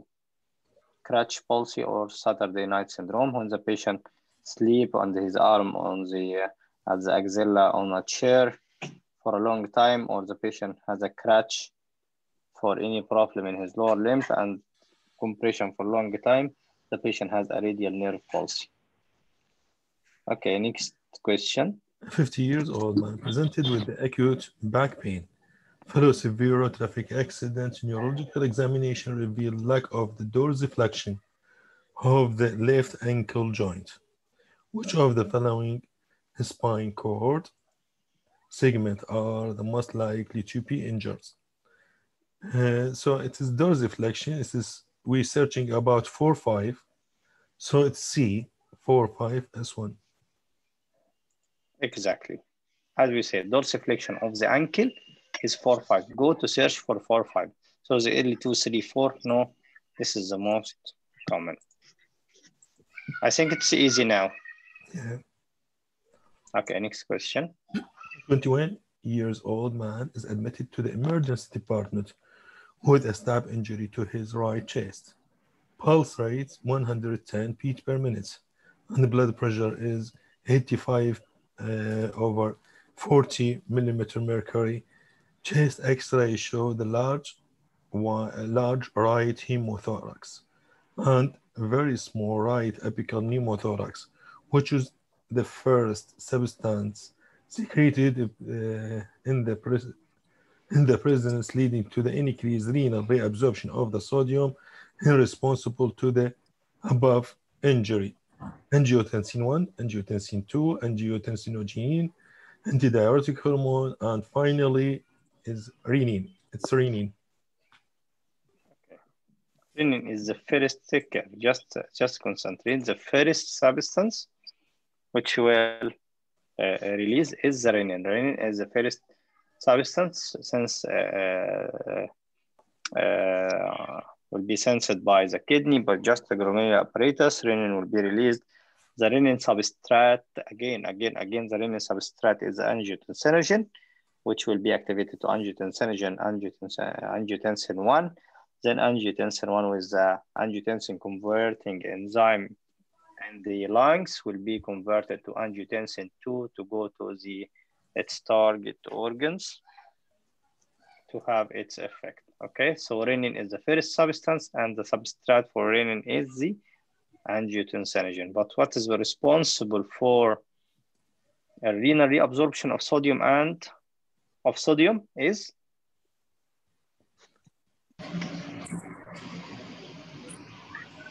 what is the, if he asked what is the substance is responsible for renal absorption of sodium? Aldosterone. Aldosterone. Aldosterone. Just yes, just concentrate with the question. Aldosterone is which is the last step responsible for the absorption of the. But the first step or the first response is renin. First substance is renin. Next question. Okay. 21 years old man has been stabbed in the back of the knee, dividing the popliteal artery and is under night repair via posterior approach. Which of the following structure is most likely to be encountered firstly when dissect deep from the skin incision? Popliteal artery, popliteal muscles, popliteal vein, tibial nerve, and soleus muscles. It's tibial nerve. Tibial nerve. From you have to know the the um, the order of these structures, order of this structure. If you have a problem in the knee and you went through a posterior approach, so the tibial nerve will be the first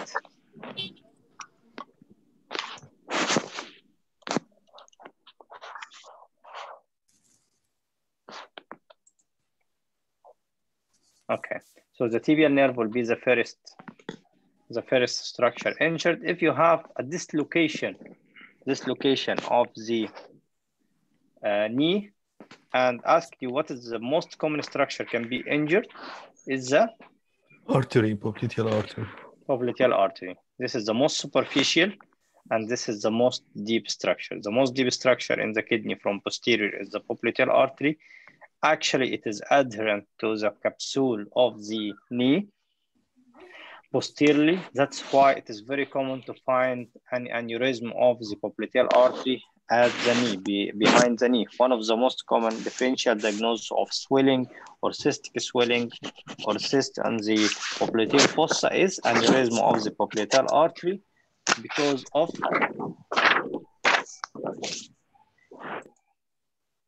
because of the uh, it is fixed part of the artery at the uh, at the popliteal fossa.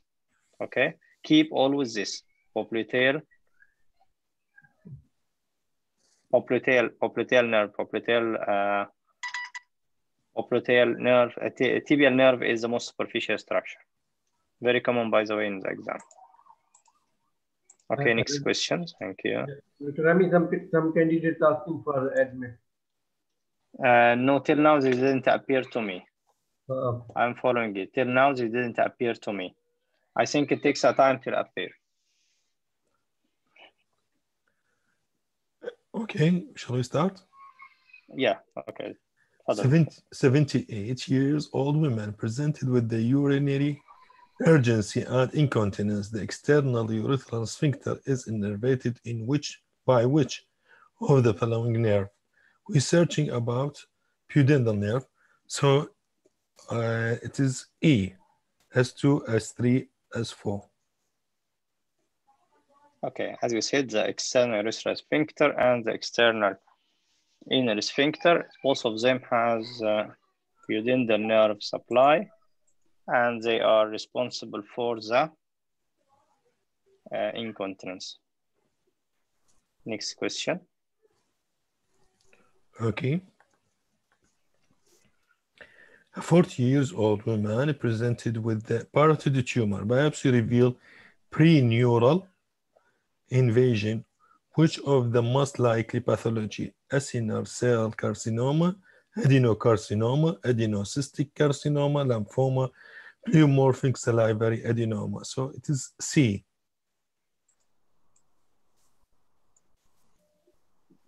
Perfect. What is the most common benign tumor? It's pleomorphic uh, uh, salivary adenoma. And the most common malignant? Most common malignant mucoepidermoid. Mucoepidermoid. Most common, most common benign. Most common benign is pleomorphic adenoma. Most common malignant is mucoepidermoid. The most common malignant with epineural invasion is the adenoid cystic carcinoma. You have to concentrate. If it is said the most common malignant, mucoepidermoid, the most common malignant, and give you in the history epineural invasion or perineural invasion or facial nerve affection. So you'll go for adenoid cystic lymphoma, adenoid cystic carcinoma, sorry.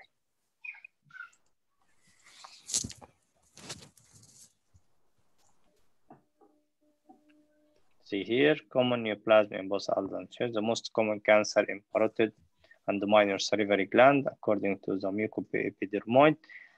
Adenoid cystic carcinoma, the most common malignancy of subendocrine gland, second most common salivary cancer, slow progression, metastasis, logical subtype, characteristic with perineural invasion. Next question. A 19 years old man was assaulted as a sustained injury to the right side of head. After two weeks, he is noted uh, he is noted dial his right eye is dry, and it could not produce tear from which of the following ganglia is postsynaptic fiber arising supply the lacrimal gland. Geniculate ganglia, inferior ganglion, ganglion of the vagus, otic ganglia, pterygopalatine ganglia, superior cervical ganglia. So it is D. Pterygopalatine. Pterygopalatine, very common question by the way in the exam. Lacrimal gland. Lacrimal gland is pterygopalatine.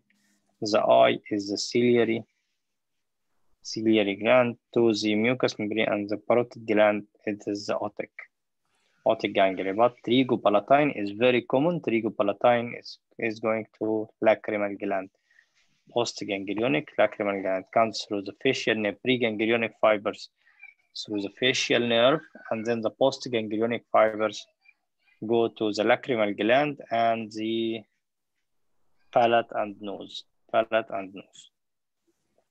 Very nice picture about the parasympathetic uh, cranial nerves innervation and the target organs.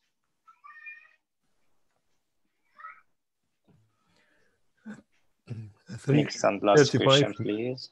35 years old man undergo right inguinal hernia repair under general anesthesia as a day patient. He has nerve block after procedure on which on recovery he was weakness of the right leg. Which nerve has been femoral nerve, uh, genitofemoral, inguinal, la- lateral cutaneous, and sciatic. So it is femoral. Femoral nerve.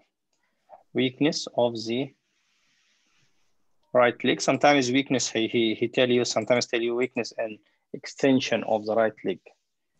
Weakness of extension of the right leg. Sometimes the question come like this. So it will be the uh, femoral nerve because it supplies the quadriceps. What is the root value of femoral nerve? L, uh, L3, uh, L2, 3, 4.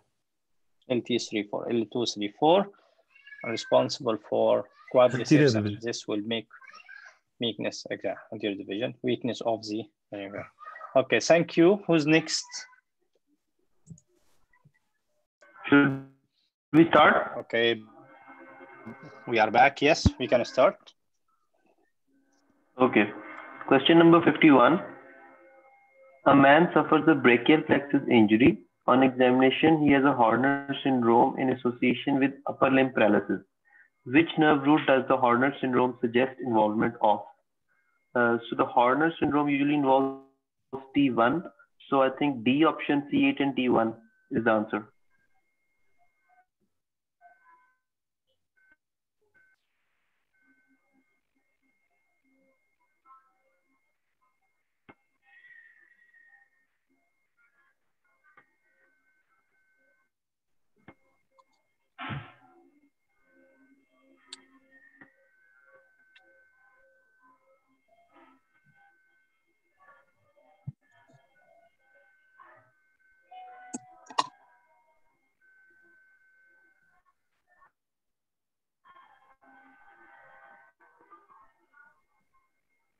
Sir. Can anyone hear me? Yes.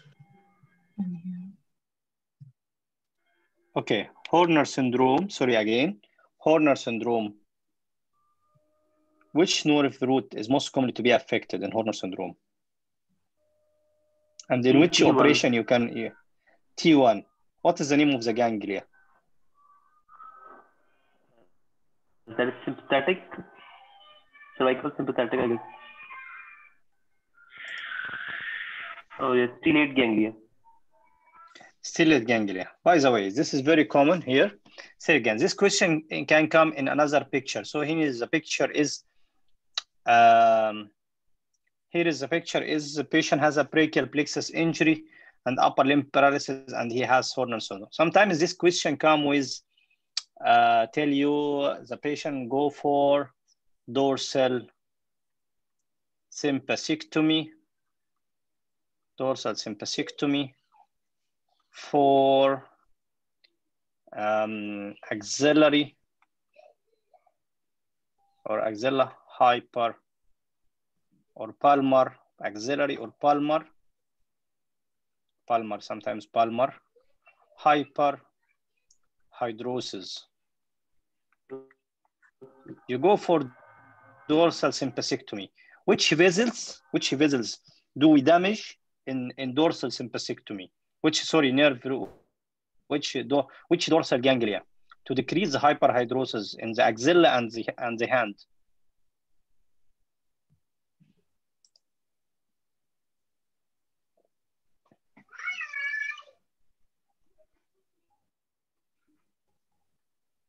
Anyone know?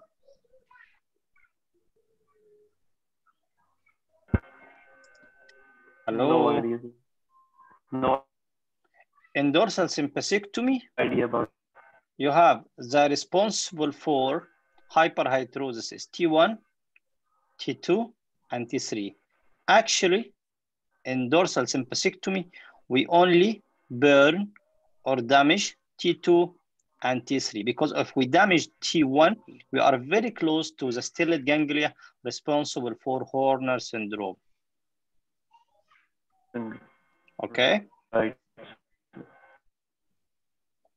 By the way, يعني يعني another يعني uh, يعني يعني you will hear uh, listen to it and forget it again and also in lumbar sympathectomy lumbar sympathectomy for any other cause like some neuralgia or some pain or or, or lumbar sympathectomy we damage starting from L2 L3 or L4 whatever the nerve root we want to damage for uh, maybe treatment of patient like uh, hyperactive uh, patient has uh, some sort of uh, lower limb ischemia and we know we want to uh, uh, uh, functional lower limb uh, ischemia due to hyperactivity of the vessels and vasoconstriction uh, like Raynaud syndrome and something like this we need to, to decrease the the the the the, the vasoactive uh, uh, the vasoactivity of the vessels of the uh, lower limb,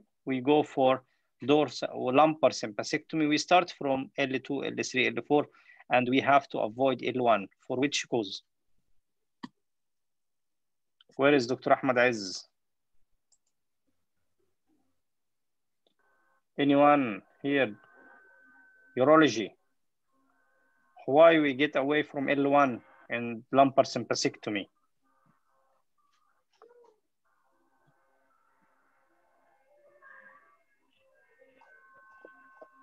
No one urology with us here? What? I guess no, sir. I am urology, but I don't know Dr. Rami. Okay, L1, if you if you damage L1, uh, this will affect the uh, premature ejaculation. And sometimes erectile dysfunction or I think premature premature ejaculation. If you go for Okay. L1, go for lumbar and go for lumbar and dorsal sympathectomy. Dorsal sympathectomy, you have to avoid T1. Lumbar sympathectomy, you have to avoid L1. Search for it and make sure that my information is still because this information about 10 years ago, as as long as ca I, I can remember. Yeah. Okay. Okay. Hmm. Anyone make sure and give us the feedback. Next question, Dr. Wagi. that Okay. Uh, 52, a 60-year-old woman with breast carcinoma complains of difficulty chewing her food and is found to have numbness of lower lip on one side. CT scan shows a small metastatic lesion affecting the bony skull base on the same side as the limb, uh, uh, lip numbness.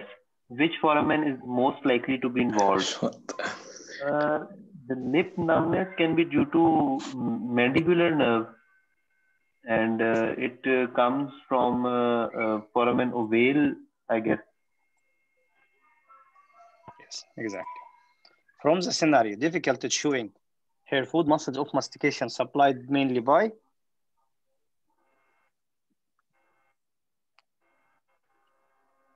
Mandibular nerve. trigeminal which part of the trigeminal? Third part. آه، trigeminal. Third part. اللي هو اللي هو Mandibular. mandibular اه V3 اه muscles of mastication, mandibular nerve of the trigeminal nerve, responsible for third branch mastication. Mm. Third branch. So here he want you on, yani this is indirect question. Difficult chewing her food, so he asking about muscles of mastication. Which branchial arch? آه، second ولا second ده facial No, gives facial, I guess. second, اه second, facial. sevens. Second, sevens. ايوه facial facial muscles muscles of facial expression yes first mandibular مم. muscles of mastication. mastication. It is not very common to come in the exam, but I just want to make it a hint to remember. I said, remember the first, remember the second, remember the sixth. Six pulmonary arteries. Pulmonary artery and ductus arteriosus. Second, seventh, Ductus Second, seventh, facial and stapedius or stapedius muscle, stapedial muscle, or stapes or something like this. First, mandibular and muscles of mastication. Clear? Clear. Ah, okay, so here it's asking about the mandibular. So he wanted you to remind what is the uh, mandibular coming from, which is the foramen ovale. No exam, follow from two to three questions about the foramens. No exam about the foramens, please, please, please. Excuse me, Dr. Rami. Yes, Um, I have a small Dr. You said uh, first mandibular, second is seventh and uh, second can is please seventh. Uh, and please explain the sixth one again. I missed it. The sixth branchial arch gives the uh, pulmonary trunk or Pulmonary pulmonary artery or ductus arteriosus. Thank you very much. We, we explained it in yesterday uh, discussion of, of Fawzia sheet number one. We said first Okay. mandibular, not very common in the exams. Second is the most common. Second and sixth, very common in exam. Second, S, seventh, cranial nerve, S, stapes, osteoideus, osteoidal muscle, all starting with S and uh, responsible muscles of facial expression. Six, you will find pulmonary trunk, pulmonary artery, or ductus arteriosus. Okay? Dr. Rami. Uh, sorry, Dr. Rami. Uh, question uh, uh, 51. It is a complex uh, syndrome, complex uh, paralysis, palsy. What? This 51? uh, uh, this this is a palsy com complex palsy complex palsy. What's the name? No, This is Horner syndrome. Uh, it's associated with paralysis of the upper limb. It's uh, كلامب اكسبرسي as اه كلامب اكسبرسي اه اه كلامب okay yes. Uh, Associated maybe with Klumpke's palsy okay but I, am just wanted to explain why horner syndrome. As you see horner syndrome you could search for t1 hmm. and we asked about the injury of the dorsal lumbar of the lumbar uh, sympathetic ganglia. I don't know you you was with us or you you no, wasn't. I wasn't. I wasn't. You wasn't. We asked it about because uh, we said when are doing dorsal sympathectomy, we have to avoid injury of T1, and we do oh. only T3 and T2, 2 and T3 oh. Ah. for treatment of hyperhidrosis of the palm and axilla. Yes. Okay. When yes. we are treating some vasoactive or vasospastic condition of the lower limb, like in diabetic patient and Raynaud syndrome or something like this, we do what is called lumbar sympathectomy. Lumbar sympathectomy. In lumbar sympathectomy, you avoid to injure L1. L1 Why? عشان ال ejaculation. Premature ejaculation. Yes. Premature ejaculation. And do انت L2 L3 L4 ولا L2 L3 Uh, only? I I think L2, L2, L3, I can't remember L4. But Mm. L2, I think uh, dorsal have L2, L3. I think so. Mm. And the, Correct. the upper limb paralysis is uh, due to uh, the root C8 for the radial. Yes, associated C8 مع T1.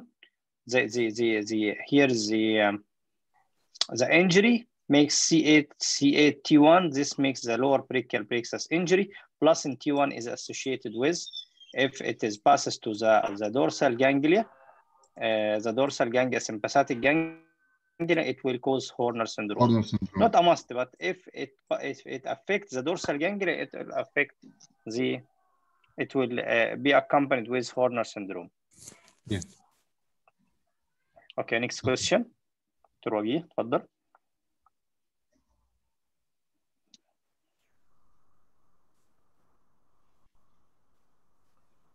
Uh, 53, sir. Whi- Which one of the following muscles is- is an extensor of the hip? So extensors of the hip is the semitendinous and semimembranous. Semitendinosus. Extensors of the hip is semitendinosus. This is uh, a summary for most important muscle for the flexion, abduction, extension, and so on. The most powerful extensor is the gluteus maximus and semitendinosus and semimembranous as well. This is very important. Flexion, طبعا, the most powerful is the iliopsoas. By the way, in the MRCS, uh, in the MRCS, he asks for the uh, the most common or the uh, uh, the most powerful muscle. He wants you to know roughly. He don't want to know all the list of these muscles. Okay, he just want to to, to know in abduction, gluteus medius and me- medius mainly, and gluteus medius. That's why we have the Trendelberg uh, syndrome or the Trendelberg sign in uh, superior gluteal nerve injury affecting the gluteus medius. Okay. In flexion, he wants to know that the most powerful flexor of the hip is the iliopsoas muscle. And where is it inserted? In extension, he wants you to know that gluteus maximus is one of the powerful extensors of the hip, together with the semimembranous and semitendinous and the long head of biceps.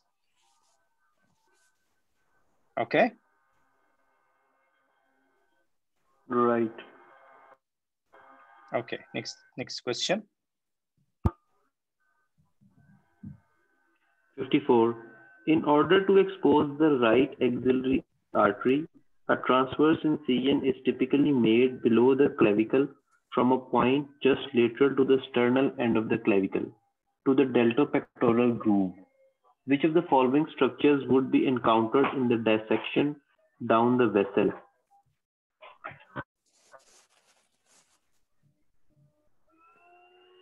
Uh, it will be uh, thoracoacromial artery.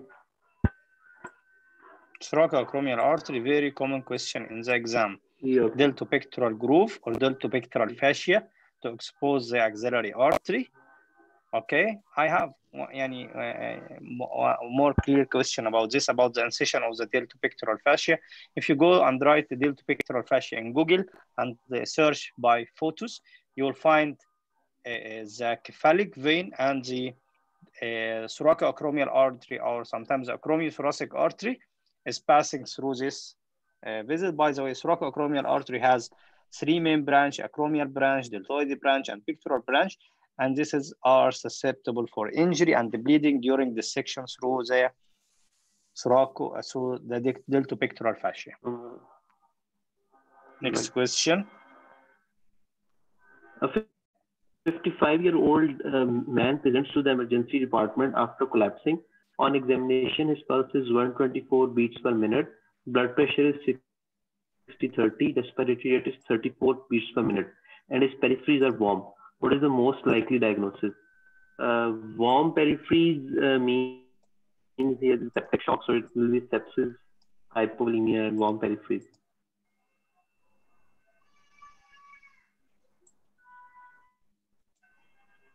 What do you expect? Sepsis, septic shock. Okay. E What you find here?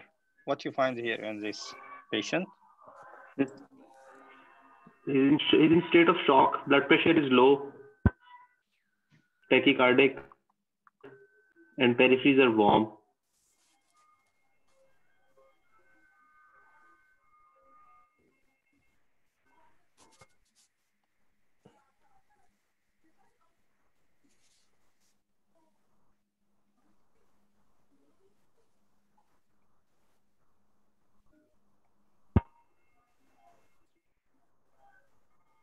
Yes?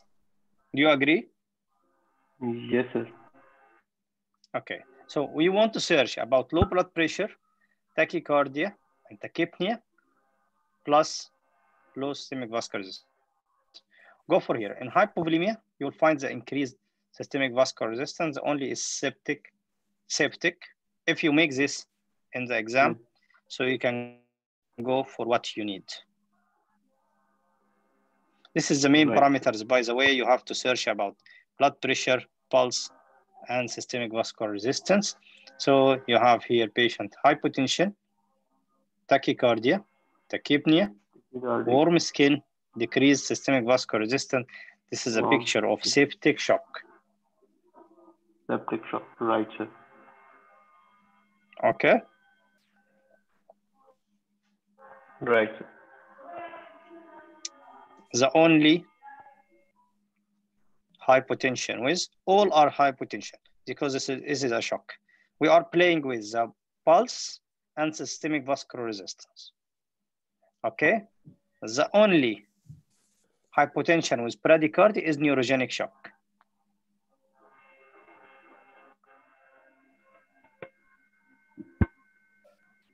Okay. Even also here, systemic Right. vascular resistance will be low. Systemic vascular resistance will be low, by the way, here also, as he, he lost the sympathetic tone, together with the septic shock. So this and this will be have systemic vascular resistance. low. Sorry. Yes, only the neurogenic shock Okay, with bradycardia. Everyone else will have tachycardia. The only is bradycardia. When bradycardia go direct for all are tachycardia, except for neurogenic shock. Mostly Yes. all are systemic vascular resistance increase with hypotension, except for mainly septic shock and neurogenic shock. Clear? Okay, for you, just know this and forget about it. So there is hypotension. There is blood pressure.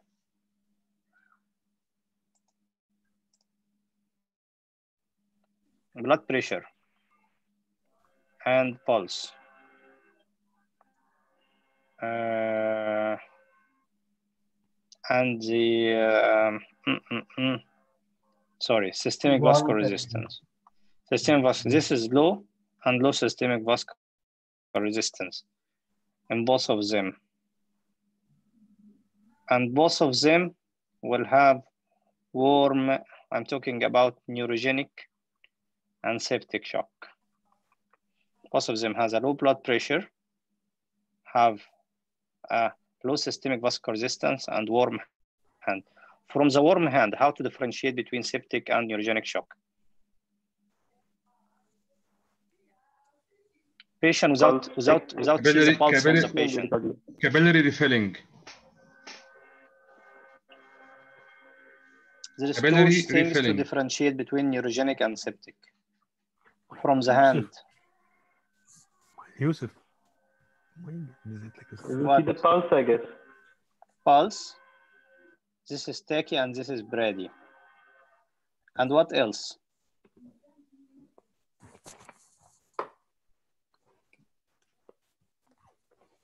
Just from the hand, if you look to the hand.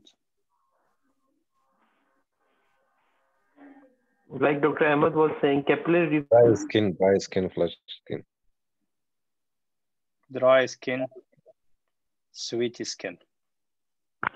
Dry skin, this is neurogenic because this will affect the muscles of sweet gland. Sweet glands, the uh, what's called the name of the muscle of the sweet gland, the uh, the pillar pillar muscle, the pillar muscle that as uh, that's the smooth muscle of the pillar muscle that are responsible for contraction of the sweet glands to make sweaty. Okay. This will affect, so there is no sweatings. This will be dry skin, but in um, sympathetic hyper uh, shock, the hand will be sweaty hand. In septic shock will be sweaty. Clear?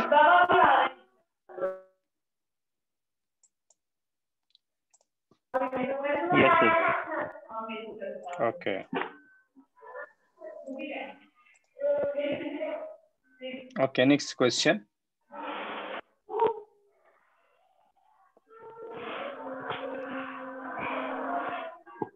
دكتور وجيه اتفضل. Uh, in the posterior lateral approach to the posterior malleolar fracture, an incision is made between the calcanean Achilles tendon, and the distal fibula. Which of the following structures are at risk? Posterior malleolar fracture, Achilles tendon. Uh, it can be sural nerve, option D. Sural nerve.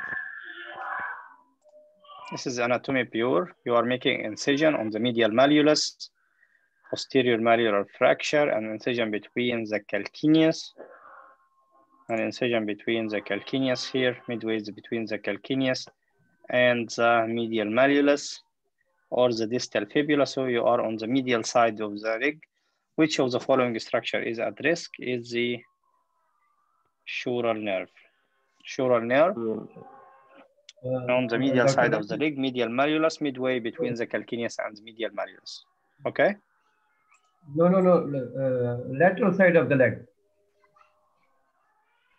Lateral side of the leg, sorry. Lateral side of the leg. Lateral side of the leg. So the sural nerve will be at risk.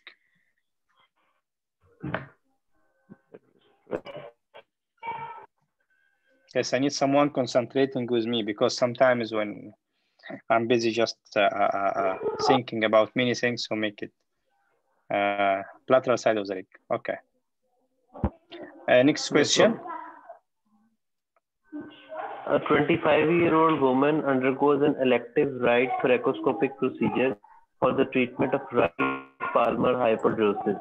That Yes, is this applied is to the the nerve structure second question we talk about. the- Yes, sir. Anterior to the neck of the first rib, what is the likely complication to occur as a result of this procedure? So it will be Horner syndrome. We just talked about that. Horner syndrome. I don't know, by the way, that uh, the question is coming here. I can't remember in which recall, but that's good that the two questions came here. You see, here is right thoracoscopic procedure, treatment of right palmar hyperhidrosis. We go only for T2 and T3. If we went for the neck of the first strip, the dorsal ganglia, the first dorsal ganglia T1 is just very close to the tip for to the neck of the first rib. So means that you injure T1. Injuring to T1 will cause Horner syndrome. Okay, I think no need to to explain again. Next question. A 30-year-old man presents to the orthopedic outpatient clinic with a six-month history of low back pain radiating to the lateral aspect of the left upper thigh. Micturating and defecation are normal and there is no history of previous injury. On examination, left lateral flexion of the spine is limited, but a full range of um, hip movements are observed. Although it is painful, sensation is altered over the front of the knee. Left knee reflex is reduced. Which spinal nerve? So I guess the knee comes with L3. Option C.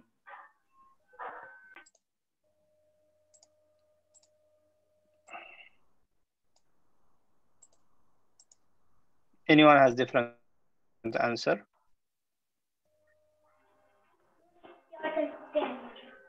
Sensation is on the front of the knee. Uh, L4. Okay, this question came and this question came in the past by by the way. You have two questions about injury and uh, uh, weakness, weakness uh, of knee reflex, weakness of knee reflex. One question will be L3 and the other will be L4. Okay. If just gives sporadic weakness of knee reflex, knee reflex, you have to go for you have to go for L4 or all, L, all L3 mainly, L3 mainly, L3, L4, but L3 mainly. But if you have a sensation artery over the front of the knee, sensation on the front of the knee is mainly by L4. By the way, confusing question between L3 and L4. But yani, uh, we collected before the two question from the from the um, from the past test and from the EMRCS. Uh, sensation, alter, alter sensation on the front of the knee mainly will be L4 because both of them responsible for the knee reflex. And he said here, Biolax, he, he said reduced. Okay. Okay. Uh, really confusing, Dr. Right. I asked uh, two, two neurosurgeons. They told, okay, can uh, I can't hear you good, Dr. Zakir told me L3, one told me L4 about this uh, reflex and the sensation. Both confusing, confusing question, confusing question. And by the way, many questions in the exam you found, you found the exam about three to four to five questions are discussed from exam when there is a debate about the exam. And this is one of the questions about debate. Yeah. Okay. A scenario in EMRCS, a scenario in past test, one saying L3, but doesn't mention doesn't mention this one. That's alternation. The only question in past is mentioned that there is alteration of the sensation in front of the knee. Answered it L4. yeah. Okay, so right. Okay.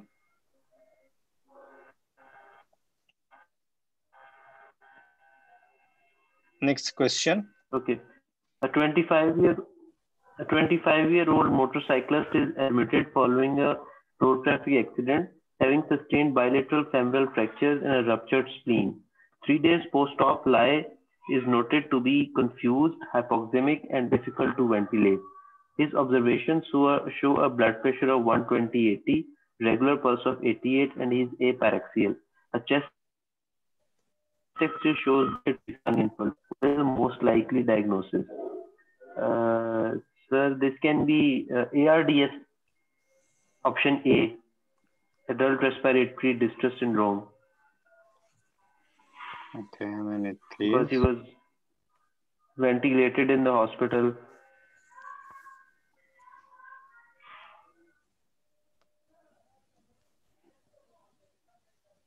So your answer is ARDS. ARDS, yes, sir. So this is admitted with road traffic having sustained fracture, ruptured spleen. He's not to be hypertonic difficulty. His observation blood pressure has regular and upper chest X-ray. Sounds like the underlying diagnosis.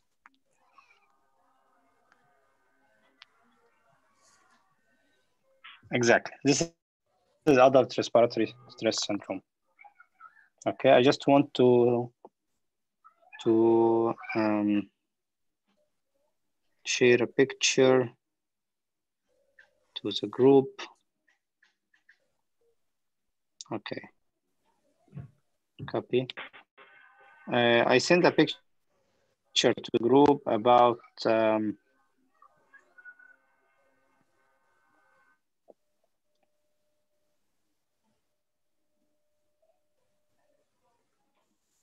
sensory innervation of the uh, lower limb.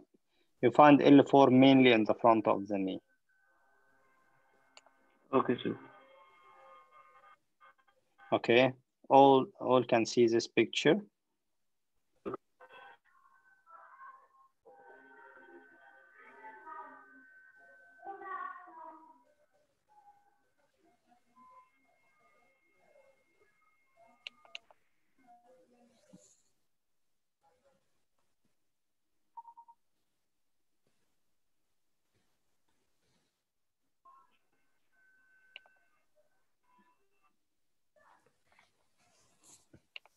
Ya.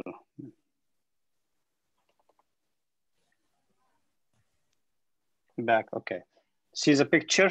Yeah, next question, please. Dr. Rami. Uh, yes. Dr. Rami. Yes. Uh, before we leave, before we leave the previous question. Yeah. Which one? Yard. RDS. Uh, yes. Yes. the, uh, um, the patient has bilateral femoral fracture and the hypoxic, three days post-operative. I, I expect the patient to be bedridden. I expect the patient by bi- bilateral femoral fracture to be bedridden. Um, and uh, a patient is hypoxic. Why not pulmonary embolism? Because of bilateral diffuse lung infiltrates.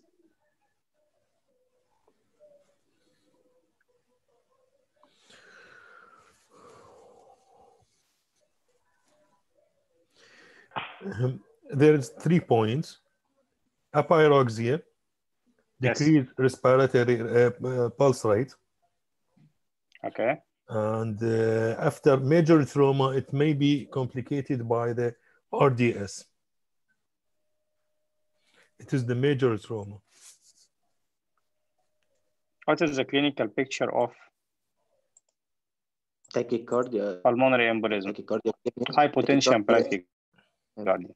Hypotension, bradycardia.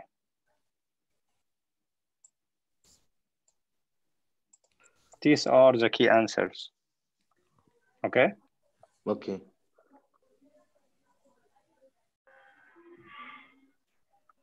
Convinced with it? Okay. Okay. Okay. Next question. Question number 60. On an ultrasound scan of the popliteal fossa, when investigating a swelling, uh, which of the following structure is closest to the capsule of the knee joint? So closest to the capsule will be artery, popliteal artery, option B. We just we just mentioned it. The most Yes. close structure is the popliteal artery, and the most structure uh, uh, susceptible for injury in knee dislocation is the popliteal artery. In knee surgery, posterior approach will be the tibial nerve. Tibial nerve. tibial nerve. Tibial nerve. Okay, who's next can uh, continue from 61, please? July. Thank you, Dr. Wagi. Okay, Dr. Dafir, اتفضل. Yes. Thank you, sir. Uh, a 25 years old man sustained a twisting injury with playing football.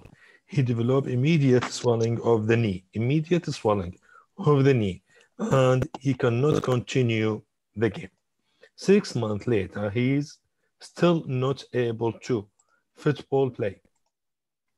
Football play. His knee feel unsteady and tend to give away. On examination, he has a full range of the knee motion. Uh, this is the positive anterior draw taste and the small effusion. What is the most likely structure uh, damage? Anterior cruciate, lateral collateral ligament, medial collateral ligament, oblique popliteal ligament, posterior cruciated ligaments.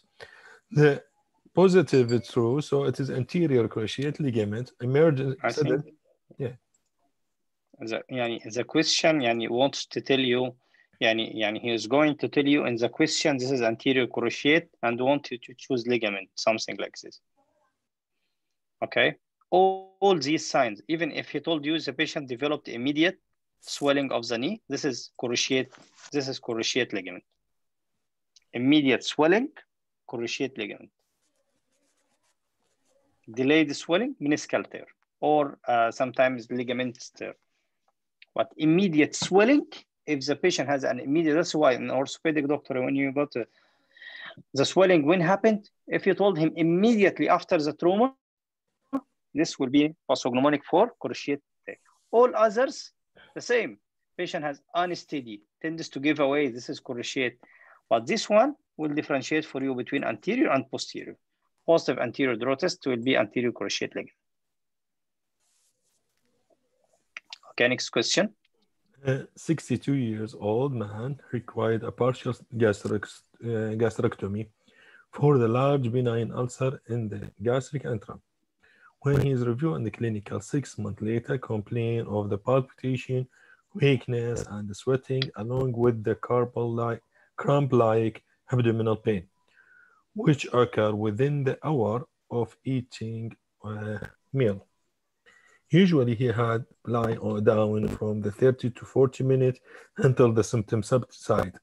What is the most likely causes for this? Symptom, oh, cardiac, uh, chronic gastroparesis, dump syndrome, uh, delayed gastric, empty reflex gastritis, recurrent ulceration. So it's B. early or late This is uh, early. Early dumping what is the pathology pathophysiology for this It is rapid pro, uh, rapid uh, pass of the hyperosmolar uh, chyme on the stomach to the to the duodenum. To the duodenum and incest. Okay, Yeah. what is the late dumping? It is late dumping. It is hyperglycemia, hypo, hypoglycemia due to increased uh, secretion of the insulin. Perfect. And this is a late dumping. Happens three to four hours, up to six hours after food due to the passage of uh, high glucose contents of the and and the release of insulin in a high amount followed by hypoglycemia. Okay, next question. In septic shock, noradrenaline is used and increase the systemic vascular resistance. This action is a result of the stimulation of which of the following? Noradrenaline, alpha 1, alpha 2, uh, B1, B2, alpha 1. It's alpha 1. I think this repeats uh, from yesterday. Yeah. We said that norepinephrine mainly alpha 1. Norepinephrine mainly alpha 1. Dobutamine, because this question is also repeated. We said norepinephrine mainly alpha 1. Dopamine, mainly beta 1. Okay, sometimes epinephrine mainly beta 1, but this is the most common. These are the most common. The most common. By the way, eh, in part B, you'll have a big, he will ask you about dopamine. Dopamine, when ask you, you have to say, what is the effect of dopamine on the uh, vascular system? It is dose dependent. Okay. Okay. Very, very important to say dopamine is dose, dopamine D, dose dependent. DDD is very important. Dopamine in low dose can affect D1. Where is D1?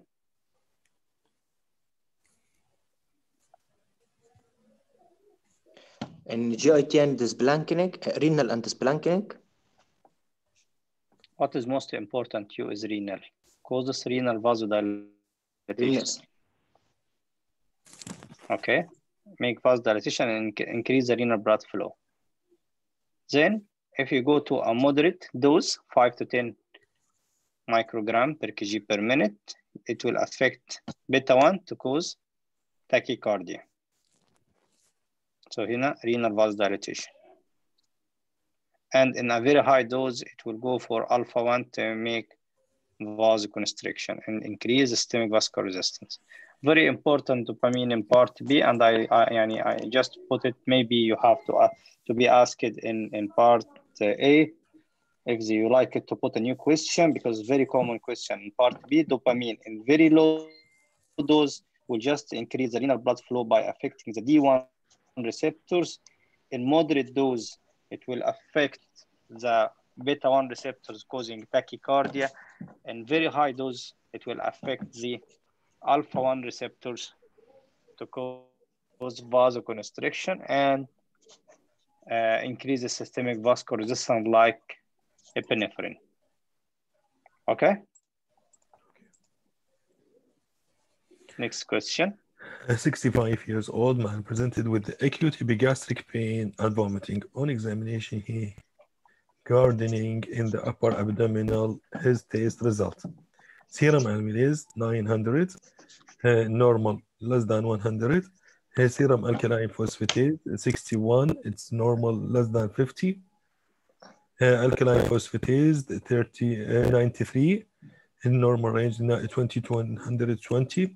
Albumin, it is 38, with normal 38.50. Uh, bilirubin, 15 millimole. And triglyceride is 3, 2.89, it's less than 100, 1.7. So what was following etiology, the condition? This is alcohol. Because of? Because it increase uh, uh, gamma GTA. No, I- GGT is the most important. GGT is the most important. High amylase and high GGT is very pathognomonic for uh, alcoholic pancreatitis. Also, the, by the way, triglycerides is high in, in alcoholic patients. Triglycerides is high in alcoholic patients. Okay. Okay. A 74 years old woman with end-stage renal failure. 47. 47 years old woman with end-stage renal failure required an elective cholecystectomy for symptomatic gallstone disease. Her hemoglobin preoperative 7.2 gram per deciliters. What is the major cause of the anemia? Calcium deficiency, erythropoietin deficiency, folate deficiency, iron deficiency, vitamin B12 deficiency. So it's B, erythropoietin deficiency. Exactly. Erythropoietin deficiency is very uh, common problem patient with chronic renal failure. Okay. Uh, and this is the main cause of erythropoietin also is the main cause of polycythemia in patient with Renal splenectomy post splenectomy renal cell renal cell carcinoma. renal cell carcinoma and one of the paraneoplastic syndrome is polycythemia. Polycythemia. Polycythemia due to increase in erythropoietin, one of the series increase in erythropoietin activity. Okay. But in chronic renal failure, the different erythropoietin deficiency will cause anemia. anemia Okay. Okay. Both of them, erythropoietin play the main role.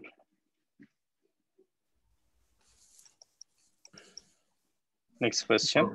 What's 60 post splenectomy ال- اللي بيزيد ايه what increase Platelets, platelet.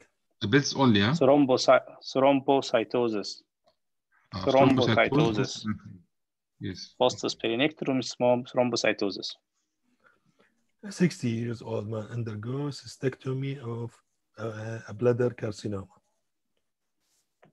During surgery, the ureter is identified of which region of the bladder the ureter prize the, prize the bladder wall, anterior, apex, lateral, neck, posterior, or base.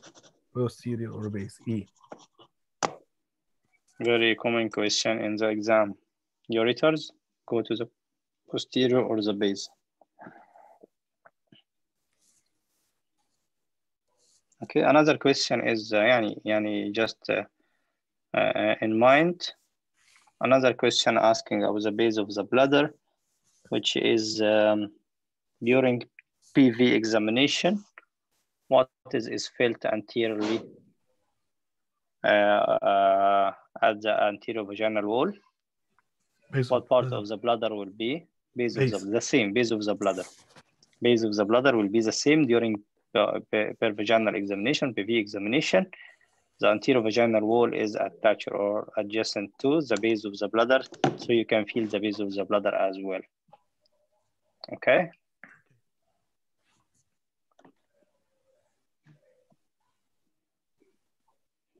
During during PR examination, So PV examination, you will have base of the bladder. Okay. 2020 January, and yes. Digital rectal examination.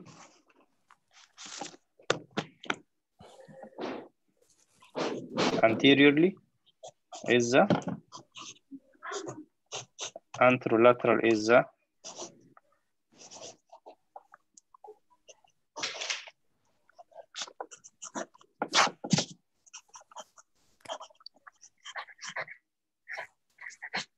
Anyone can answer until what you can fill in this director examination? Digital uh, PR? Yes. PR, it's, uh, we can, uh, male or female? Male. Prostate. Prostate. Prostate. Anterolateral, male or female? The ligament. P por XG, puborectalis or P por XG, puborectalis Master.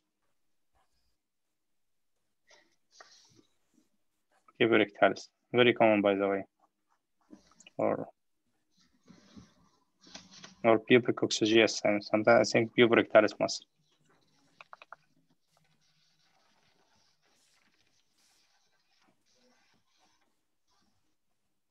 this uh, yani I, am trying to rem to remember as many questions as I can.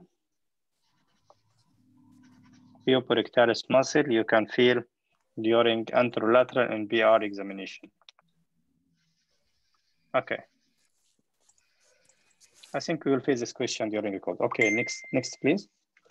Uh, a 65 years old man had a colonic resection of the carcinoma 12 hours ago.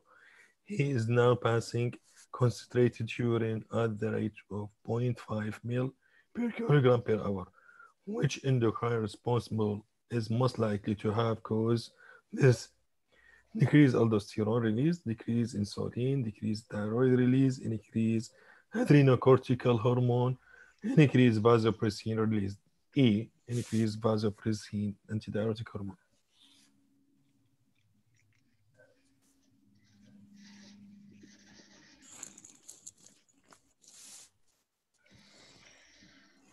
Increase the vasopressin release or antidiuretic hormone.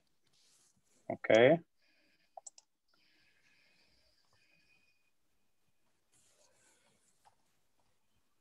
Next question. A 28 years old man presented with the isorect- ischiorectal abscess. Where is the abscess cavity likely to be sited above the levator ani between external and internal anal sphincter, lateral to obturator internus, medial to the internal anal sphincter, medial to the pudendal canal. It is medial to the pudendal canal. Exactly. This is the pudendal canal. And this is the puborectal abs, the ischiorectal abs.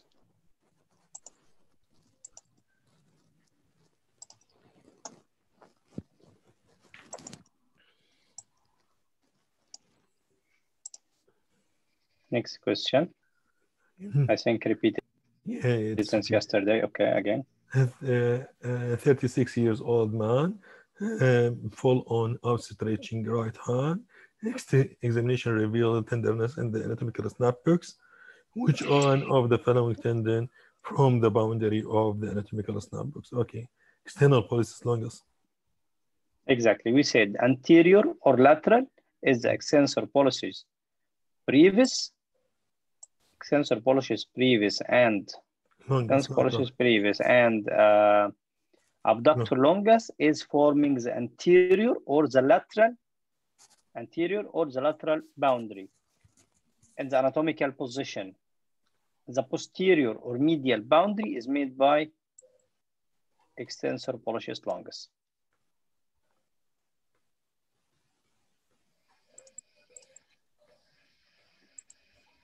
Next question. Okay. Where is the question? Uh, 70, 70 question. Okay, 55 years old man complain of the cramp and tingling in her leg and arm 24 hour follow a total subtotal thyroidectomy. Her vital signs are stable. Investigation reveal normal white cells, color in the normal hemoglobin. The Na sodium.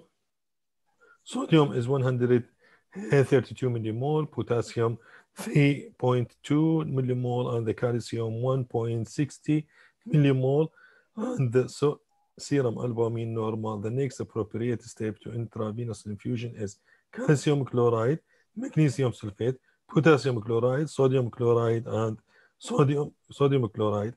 This is, we can give calcium chloride. Calcium. The patient has hypocalcemia, post-operative, so we can give calcium chloride.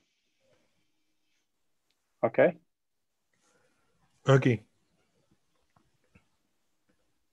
If you found calcium gluconate will be also the most more accurate calcium gluconate.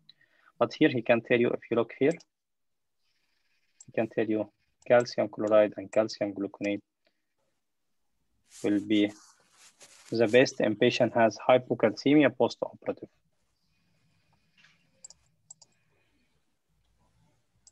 Next question. 40 I think years old. to repeat. No, uh, Okay. 40 years old woman presented with the fecal incontinence and anatomical intact internally and external anal sphincter. Which structure most likely to be damaged? Pudendal nerve. Okay. Uh, who's ready to continue to take over Dr. Doffer? I need more, more participants, please. I need new participant, Dr. Matasam ready. Who's else?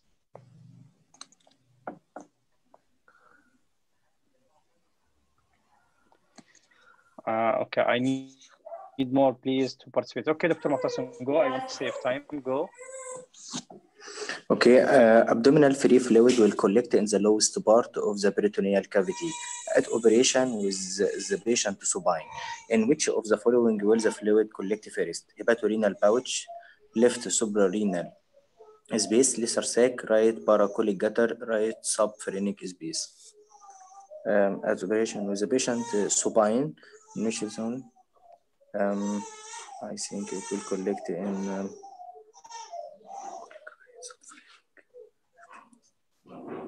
hepatorenal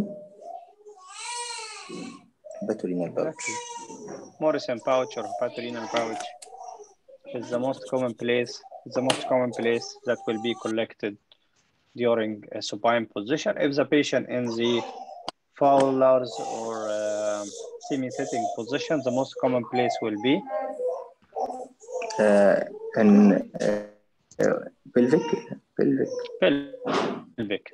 Very common, very common by the way, very common by the way, during putting the drain post-operative for any cause, putting the drain. If you put the drain in the, in the, the drain in the pelvis, you have to sit the patient in a Fowler's or semi-sitting position. So any collected fluid go direct through the paracolic gutters to the, to the pelvis to be uh, drained by the drain. If the patient can't be by any cause and the patient has to be supine, make sure that you can put two drains, one in the pelvis and one in the Morison pouch or hepatorenal pouch.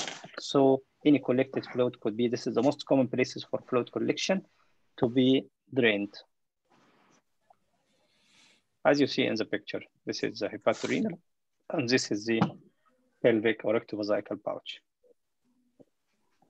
Next question. A 45-year-old homeless man presents with a cough and weight loss over three months. On examination, his body mass index is 19, and he has reduced breath sounds in the right upper zone. His chest X-ray shows a, cavity, a cavitating lesion in the right upper lobe. He undergoes a bronchoscopy and a bronchial uh, biopsy. The biopsy shows featureless feature.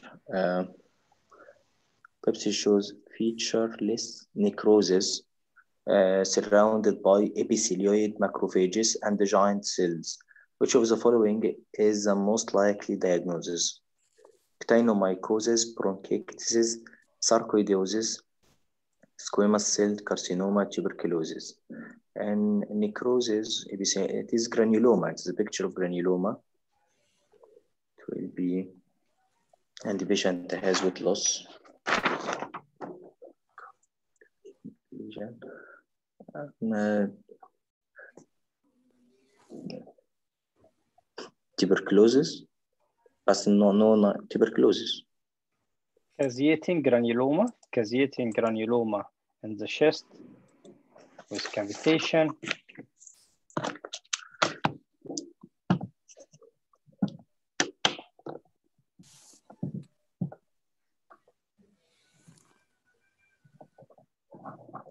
Okay, cavitating lesion in the lung and the upper pool, you have two things most commonly, this and this. Okay. Okay. This is the most cavitating lesion in, in, in, in patient if you can find. Squamous cell carcinoma, very common to be represented by a cavitating lesion and tuberculosis cavitating. And both of them can get in the upper pool of the lung, of the upper loop of the upper loop of the lung. And then he continued to tell you, look to the age of the patient. Look to the age Uh, of the 45. patient. 45. Okay. And the both of them, patient have a cough, weight loss, and maybe hematemesis and so on, chest x-ray, cavitating lesion. But then go to the biopsy, bronchoscopy and bronchial biopsy. Okay, bronchial biopsy. You will find featureless necrosis, caseation, surrounded by epithelioid macrophage and giant cells. This is a picture of tuberculous uh, granuloma. Caseation, epithelioid macrophage and giant cells. Okay. What is the name of the giant cells? Mm, The name of giant cells? Uh-huh. In the, in the, uh, the name of joint sales in the uh, oh. in this TB. Graham's Langerhans. Langerhans يا شباب Langerhans giant cell. Langerhans joint sales in the TB. Okay. Okay, next question.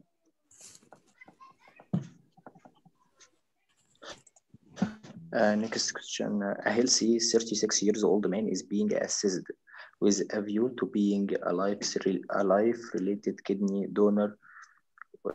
Uh, which are of following investigations is most accurate for measuring the GFR, creatinine clearance, glucose clearance, inulin clearance, paraminohippuric acid, uh, urea clearance, GFR inulin clearance. Glomerular filtration rate. Urine. In Clearance. clearance. Okay. Uh, And excuse me, paraminohippuric acid. Yeah. Plasma. for uh, For plasma, plasma clearance. this uh, inulin, uh, uh, there's a two times question I saw about inulin when he asked about investigation in the clinic in vivo and vitro. Yeah. You mean this? About, uh, in, uh, in the clinic, لا, in clinic side, when you are in a clinic and you want to assess the GFR, and in the options there is serum creatinine, they choose serum yes. creatinine. Tamam. Glomerular filtration rate. Okay. In vivo. Serum creatinine. Okay. yes in vitro, the synthetic, the synthetic or exogenous, exogenous alternative for serum creatinine is the inulin. Okay. تمام. Okay. I have a photo. I have a photo. Tell you in vivo and vitro. In vivo, you choose this. In vitro and the experimental or exogenous, the exogenous alternative for serum creatinine is inulin. Okay. In renal, plasma flow is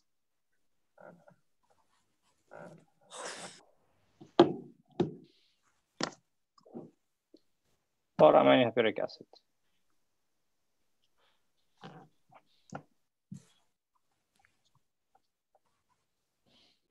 خلاص تمام can can someone read this uh, picture please? Um, inulin and the para amino hippuric acid. Inulin is freely filtered at the glomerulus and is neither reabsorbed nor secreted. Therefore, very important clear- in question why why you choose inulin? It is completely freely filtered through the glomerulus not reabsorbed and not secreted. So it gives you an accurate an accurate measure about the GFR. glomerular filtration rate. Okay. Uh, substances which are filtered and reabsorbed will have lower clearance than inulin. Uh, substances that are filtered and secreted will have greater clearance than inulin. Uh, Okay, forget para- Read. Okay. Mm. Para-aminohippuric acid is freely filtered at the glomerulus. And most of the remaining para-aminohippuric acid is actively secreted into the tubule so that more than 90% of plasma is cleared of its para-aminohippuric acid in one pass through the kidney. Para-aminohippuric acid can be used to measure the plasma flow through the kidneys, equals renal plasma flow. Okay, so don't forget this. Inulin is uh, uh, glomerular filtration rate. Para-aminohippuric acid is the renal plasma flow. Next question. Sorry, nasamia mai.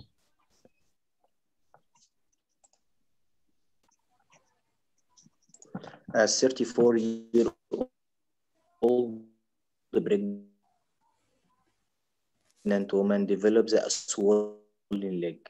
Her mother and the maternal aunt also had during pregnancy. The uh, uh, antiphospholipid antibodies. Repeated uh, question since antiphospholipid yesterday. syndrome. Antiphospholipids or anticardiolipin syndrome. And Dr. Ahmad Aid, this is not a normal edema of pregnancy, okay? Next question. A 72 year old alcoholic man is known to suffer from chronic obstructive pulmonary disease. He has now been diagnosed with carcinoma of the urinary bladder and has a history of gastric ulcer. Which of the following agents is most likely to be responsible for all these problems? Alcohol, cigarette smoking, drugs, dust, virus. Uh, I think it's cigarette smoking, which causes COPD and uh, cancer stomach, Exactly. The only, uh, the only, uh, the, yes, the only thing can be uh, uh, sharing both of them is the COPD and cancer urinary bladder is uh, smoking. Okay, next question.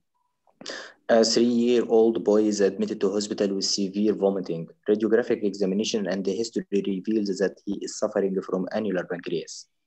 Which of these structures is constricted? Second part of the duodenum, also it is a repeated question. Repeated question. Next question.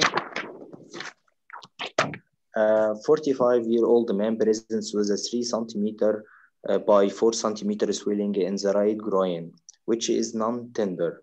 A cough impulse is elected. At operation, an indirect inguinal hernia is found. The external inguinal ring is a defect in which of the following abdominal, abdominal wall? It is a defect in the external oblique aponeurosis. Uh, Okay, and the internal ring, uh, fascia transversalis. fascia transversalis, exactly. Next, Next question. question. A 45 year old woman suffers from spina bifida and is confined to a wheelchair. Her legs are not fully developed What is the pathological process which has occurred in the legs? Uh, apoptosis, atrophy, hyperplasia, hypertrophy, hypoplasia. Atrophy, disuse atrophy. Disuse atrophy. Sorry, no, no, no, no, no, no, no. No, I'm sorry. It's a, I, I didn't خدش بالي إن في spina bifida. So the spina bifida and this Okay. confined wheelchair. Her legs are not fully developed. Uh, so it is hypoplasia. Not fully developed. Exactly. No, uh, I'm sorry. I'm sorry. I didn't know. Okay, it's hypoplasia. It's hypoplasia. Hypoplasia. Okay, next question. Uh, a 23 year old man presents to the emergency department with non-specific chest pain.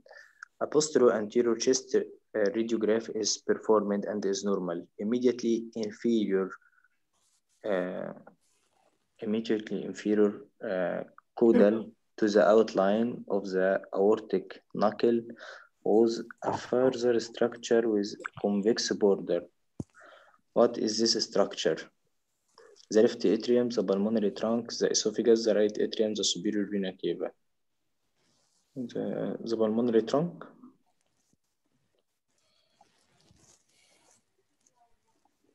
Mhm. no. One some posterior anterior years before the immediately inferior To the outline of the aortic knuckle with the further immediately inferior to the caudal to the outline of the thoracic knuckle. I think it is knuckle. Where is the aort? Where is the aortic knuckle? Where is the aortic knuckle?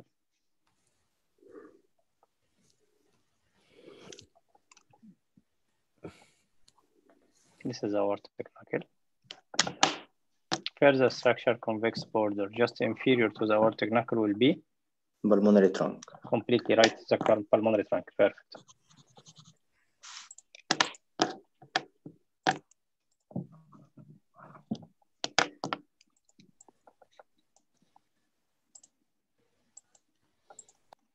Okay, who's next for the last 10 questions? We have um, almost about 180 questions for sheet Fawzia, uh, sheet two Fawzia. Uh, number two, we have about 180 questions. I think we can finish eight- 90 today and can finish 90 tomorrow. Okay? Okay. Because I have work, I have work after a couple of hours. Okay. Okay, last thing question, and then uh, thank you for today, and meet again tomorrow. Almost will be the same time at six o'clock. Okay. Okay. Okay. Okay, last thing question. Who's ready? We are ready. You always ready, Dr. Dafra. Okay. Go, Dr. Dafra, for the last thing question. Thank you. Welcome. Uh, 45 years old woman presented with the hospital with a jaundice. She's undergo an ultrasound scan diagnosis with hepatocellular carcinoma affect the left loop of the of her liver. Which virus is the, the most likely implicated? Epstein-Barr virus, hepatitis B virus, HIV virus, human papilloma virus, and the human T cells trophic virus. So it is B, hepatitis B virus. Hepatitis B virus. Is associated with hepatocellular carcinoma more than hepatitis C as well. Next question. Uh, uh, 82 years old man has complete occlusion of his inferior mesenteric artery. On the angiograph, he had he but no symptom or sign chronic ischemia. Which of the following artery is the most li- likely additional source of the blood supply to the tutority of the inferior mesenteric artery? Inferior mesenteric artery, left colic artery, left gastroepiploic, middle colic, splenic, and the superior rectal, Very common question. Yeah. That's by by by different ways. Sometimes what's give additional, sometimes after left uh, colectomy, or sometimes after sigmoidectomy, sometimes yani, uh, after uh, uh, transverse or anastomosis after complete left colectomy. Asked you what will give you additional additional blood supply to the left colon or to the stump or to the uh, sometimes of the colostomy. It will be the middle colic. It anastomoses with the uh, left colic, which is a branch of the inferior mesenteric, to give a good anastomosis and additional blood supply to the left side of the colon. Next question. Uh, 65, uh, 40, uh, 56 years old man, documented type 1 diabetes mellitus, presented to the surgical outpatient clinic with the three-month history of right leg pain, brought on by walking 15 meter. meter. He has no history of the back pain. He has been smoking uh, for 10 years, 10 cigarettes a day. He settled his alcohol consumption to be 30 units per week. On clinical examination, significant findings include weak right uh, foot pulse with alteration sensation of the dorsum of the right foot.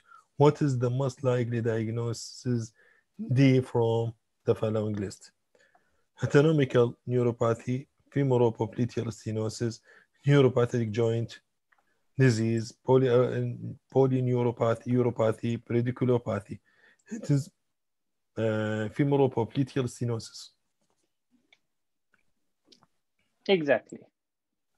Very common question in the exam. He want you to differentiate between neurological and vascular collodopathy.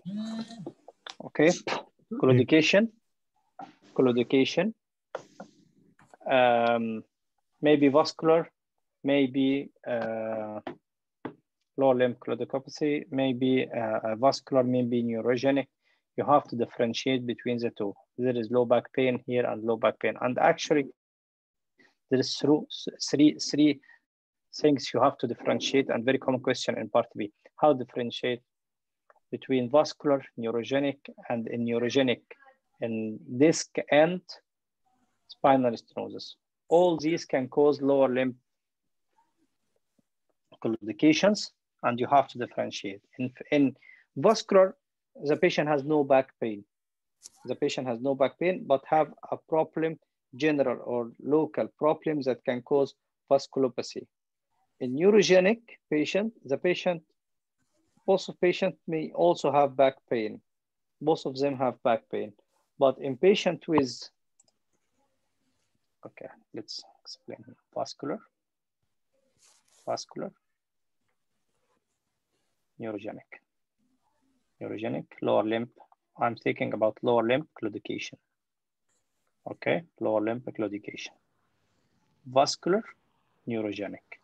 Neurogenic may be disc prolapse. Okay, or it may be spinal stenosis. Vascular, the patient has no back pain. No back, no back pain. Okay, just he have a general or local problem for vasculopathy. Neurogenic, disc prolapse, both of them has the patient has back pain. Okay, but in spinal stenosis, patient pain relieved and the claudication relieved by flexion of the flexion of the spine. Yani patient, when the patient bend forward during pushing, um, uh, uh, um, pushing like uh, uh, pushing something like uh, uh, water, uh, chair wheel or pushing a car for shopping, car kit for shopping, or the patient is going uphill, going uphill, pain decrease. So this is a spinal stenosis. The patient as going uphill, he is bending forward. The patient like this. When the patient bending forward, he opens the spinal canal stenosis, so pain is decreased. Hyperextension, the pain increase. This is in the spinal canal stenosis. But disc prolapse, no. Disc prolapse, no. Whatever the disc prolapse, it may be going downhill, going downhill due to extension of the spine, the pain is relieved. Extending the spine, the pain is relieved. When the patient of disc prolapse try to bend or flex the spine, the pain increase. That's why they say going uphill, patient with spinal stenosis will have decreased the pain. Going downhill or going down, downward or going down the stairs, the patient with disc uh, prolapse will have less pain. That's why the patient of disc prolapse, we make the leg raising test. Leg raising test makes like flexion of the spine, so the pain is more increased in disc prolapse by leg raising test. Leg raising test make flexion of the spine, so that will make a pain. Anyone understand anything? Yeah. Clear? For me, Yes, Or you thank got you, lost? Dr. Rami. You, al you, you almost now yeah, you almost now discussed around uh, six or seven uh, famous questions in the MRCS. Yes, I, I Vascular- hope yani, no one Yeah. is lost. Yani. Yes, لا لا very it's common okay. question. And okay, Thank you. Yalla, next Very question. nice way to, dis- to make uh, like uh, summing up everything uh, together, we can differentiate. Uh, okay. A 35 years old man presented with the three week history of lower back pain and three days history of the pain and weakness in his left leg. Physical examination demonstration numbness over the posterior aspect of the left calf extended to the lateral aspect of the two, uh, foot, left ankle, ankle reflex is absent. Magnetic resonance image show compression of the layer on the S1. Nerve root. What is the most likely cause compression of this nerve? Nucleus fibrosus, anterior ligamental nucleus pulposus, yes. Posterior ligamental and vertebral. It's And- yesterday question. So, okay, let's ask about this. Compression of S1. What will be the result of this the clinical picture of this patient? Yesterday we Weak. said this. Weak plantar flexion. S1 will produce weak plantar Flexion flexion. Plantar flexion. And lateral side of the foot. Or Also, also lateral side. of- se- sensory lateral side of the foot. Perfect. Okay. Because it's yani, a repeat question of yesterday, so we can remember. Okay, next question. 72 years old man who is smoking presented with the, to the doctor with the second episode of frank hematuria. When ultrasound, uh, ultrasound scan, his urinary tract was performed. It is a solid lesion on the in the right kidney. Most likely pathology under this presentation, hemino-myeloid lipoma, renal cell carcinoma, renal cyst, renal oncocytoma, transitional cell carcinoma. It is A. A. And then just a minute. No, Frank hematuria, smoker, smoker, smoker, Frank Sweet. hematuria, and the perform solid mass in the right kidney. What is the most common cause of Renal cell carcinoma. renal cell cell carcinoma. most common cause of frank hematuria? Frank hematuria in a smoker and solid mass. The most common mass will happen in this age group, renal cell carcinoma. Please. Always. Nice.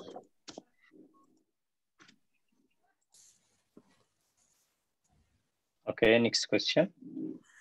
A 20 years old man presented with abdominal pain and shock.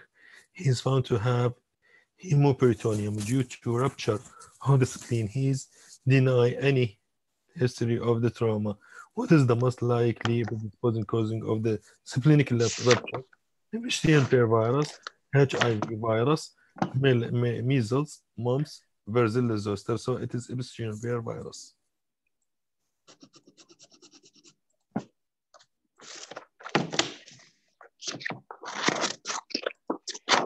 Okay, the most common cause of rupture spleen in a young patient, spontaneous rupture spleen in a young patient is Epstein-Barr. What is the, uh, the syndrome or the or the picture or the disease can caused by the Infectious Epstein-Barr virus? Infectious mononucleosis. Infectious mononucleosis. Infectious or glandular fever or infectious mononucleosis is the most common for uh, spontaneous splenic rupture in young age. Spontaneous splenic rupture in young age. Okay, you can read this. Predisposing factor, infectious mononucleosis, malaria, typhoid, and this was infectious by Epstein-Barr virus, most common cause of spontaneous splenic rupture in young age. Next question. A 30 years old woman presented with the outpatient clinic with a three month history of diarrhea, which is intermittent, bloody. On rectal exam, rectal biopsy history, histology has shown granulomatous inflammation. What is the most likely diagnosis? Amoebiasis, Crohn's, sarcoidosis, TB, and ulcerative colitis. 30 years, okay show granulomatous inflammation. So it is T. Crohn's disease. Sorry. Sorry, sorry, sorry. Ah, granulomatous inflammation. Crohn's disease. Crohn's disease. This A is, يعني, it makes a big difference. Okay? Ah, granulomatous disease. Uh, uh, what is the definition of definition of uh, Crohn's disease?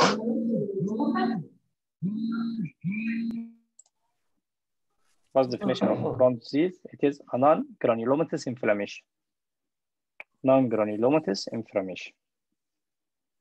Okay, very important, very important, very important. In part B, in the station of inflammatory bowel disease, and he want to ask you describe the Crohn's disease, the first thing, non-caseating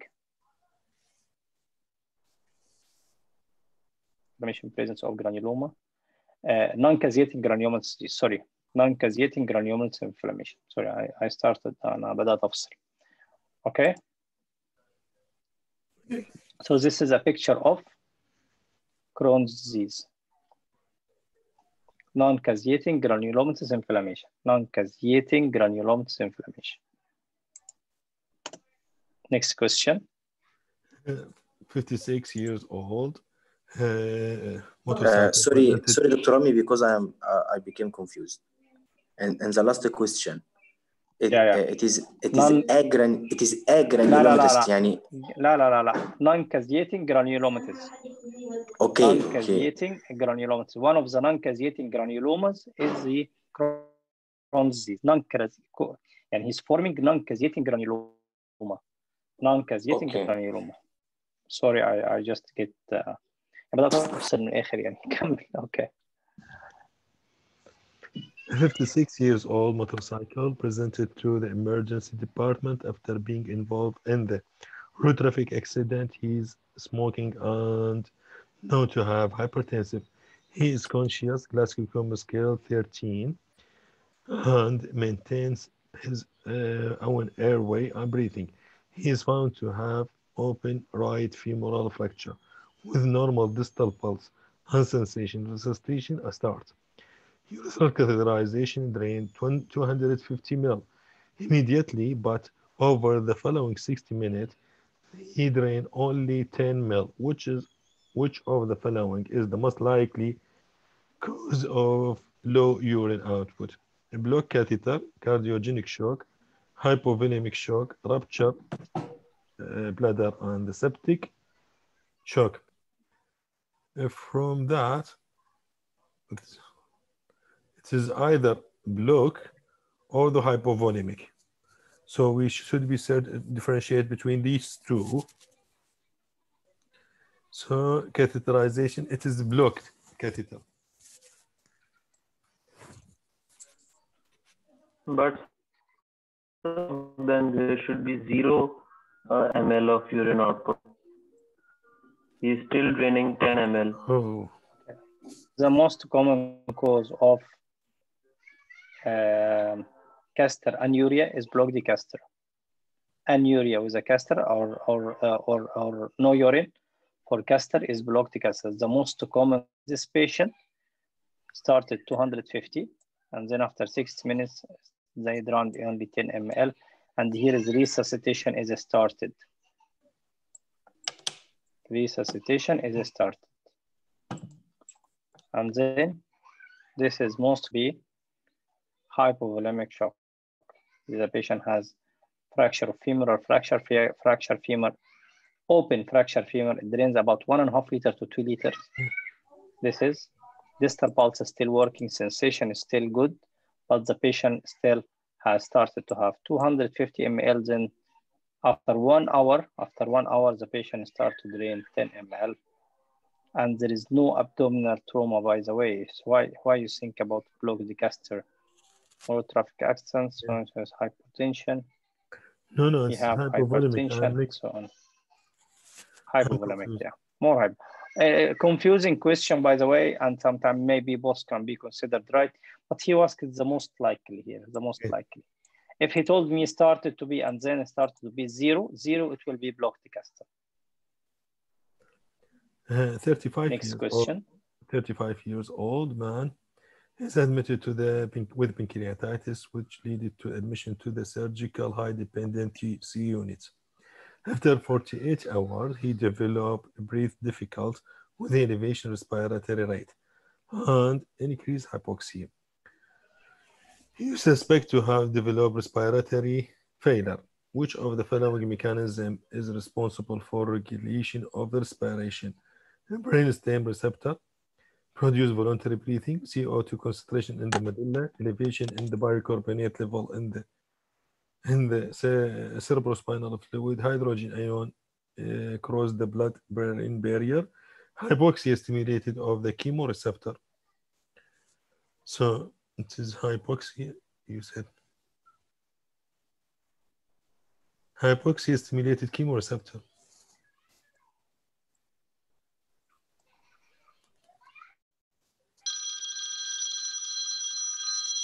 What do you think? e. e. you say? Yes, E. Hypoxia stimulated of the chemoreceptor. Okay. When we said in the in the uh, the chemoreceptor in the brain, we said sensitive to what? CO2.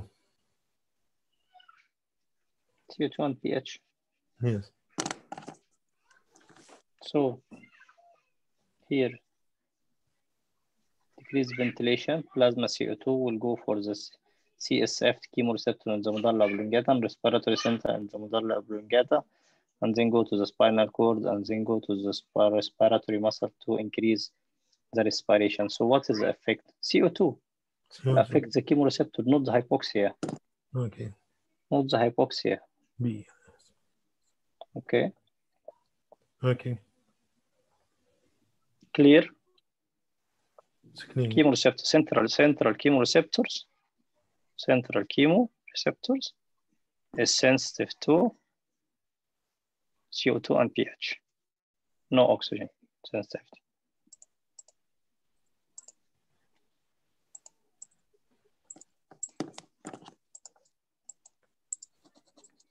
Next question and last question. Okay. A 70 years old man undergo transurethral resection of the bladder tumor. The uh, tumor lie out the lateral side wall of the bladder just above the opening of the ureteric orifice. Use of diathermy suddenly caused the patient to kick because of concentration of the hip, construction of the hip abducted adducted muscles, which nerve stimulate obturator nerve. Very common question in the exam, by the way. Sometimes tell you the bladder, sometimes tell you during vaginal delivery, sometimes tell you uh, what else?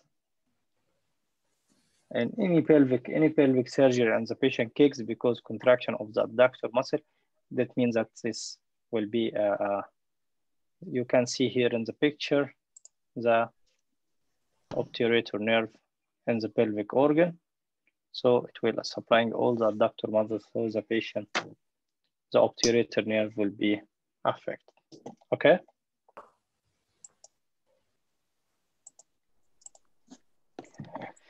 Finished hmm. 90 question today. Thank you. We still have almost 90 or less than 90 question. We can start it tomorrow at six o'clock as well.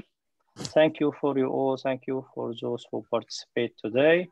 I hope you very much, we Dr. could Rami. help Thank you. you, sir. Thank you very much. Thank you. Thank you, Dr. I hope Thank I you, hope Dr. we Rami. could help you today in understanding some uh, important issue on the question. Fawzia sheet again and again is very, very important. No exam without 30, 40, 50, up to 60 questions from Fawzia sheet. Okay, Yes, thank you, Dr. Rami. It thank was you. a nice, and nice for, discussion and demonstrations. thank you, Dr. Ahmed. Thank you for all. Thank you for all, especially Dr. Rami and Dr. Zaki. Thank you, Dr. Zakir. Thank you so much. Thank you very much, Dr. Rami. Thank Have you. a nice uh, night shift, Dr. Rami. ah, night shift. I'm going for. Thank you, Dr. Thank Zaki. you. Goodbye. Thank Thank you. Goodbye. Night.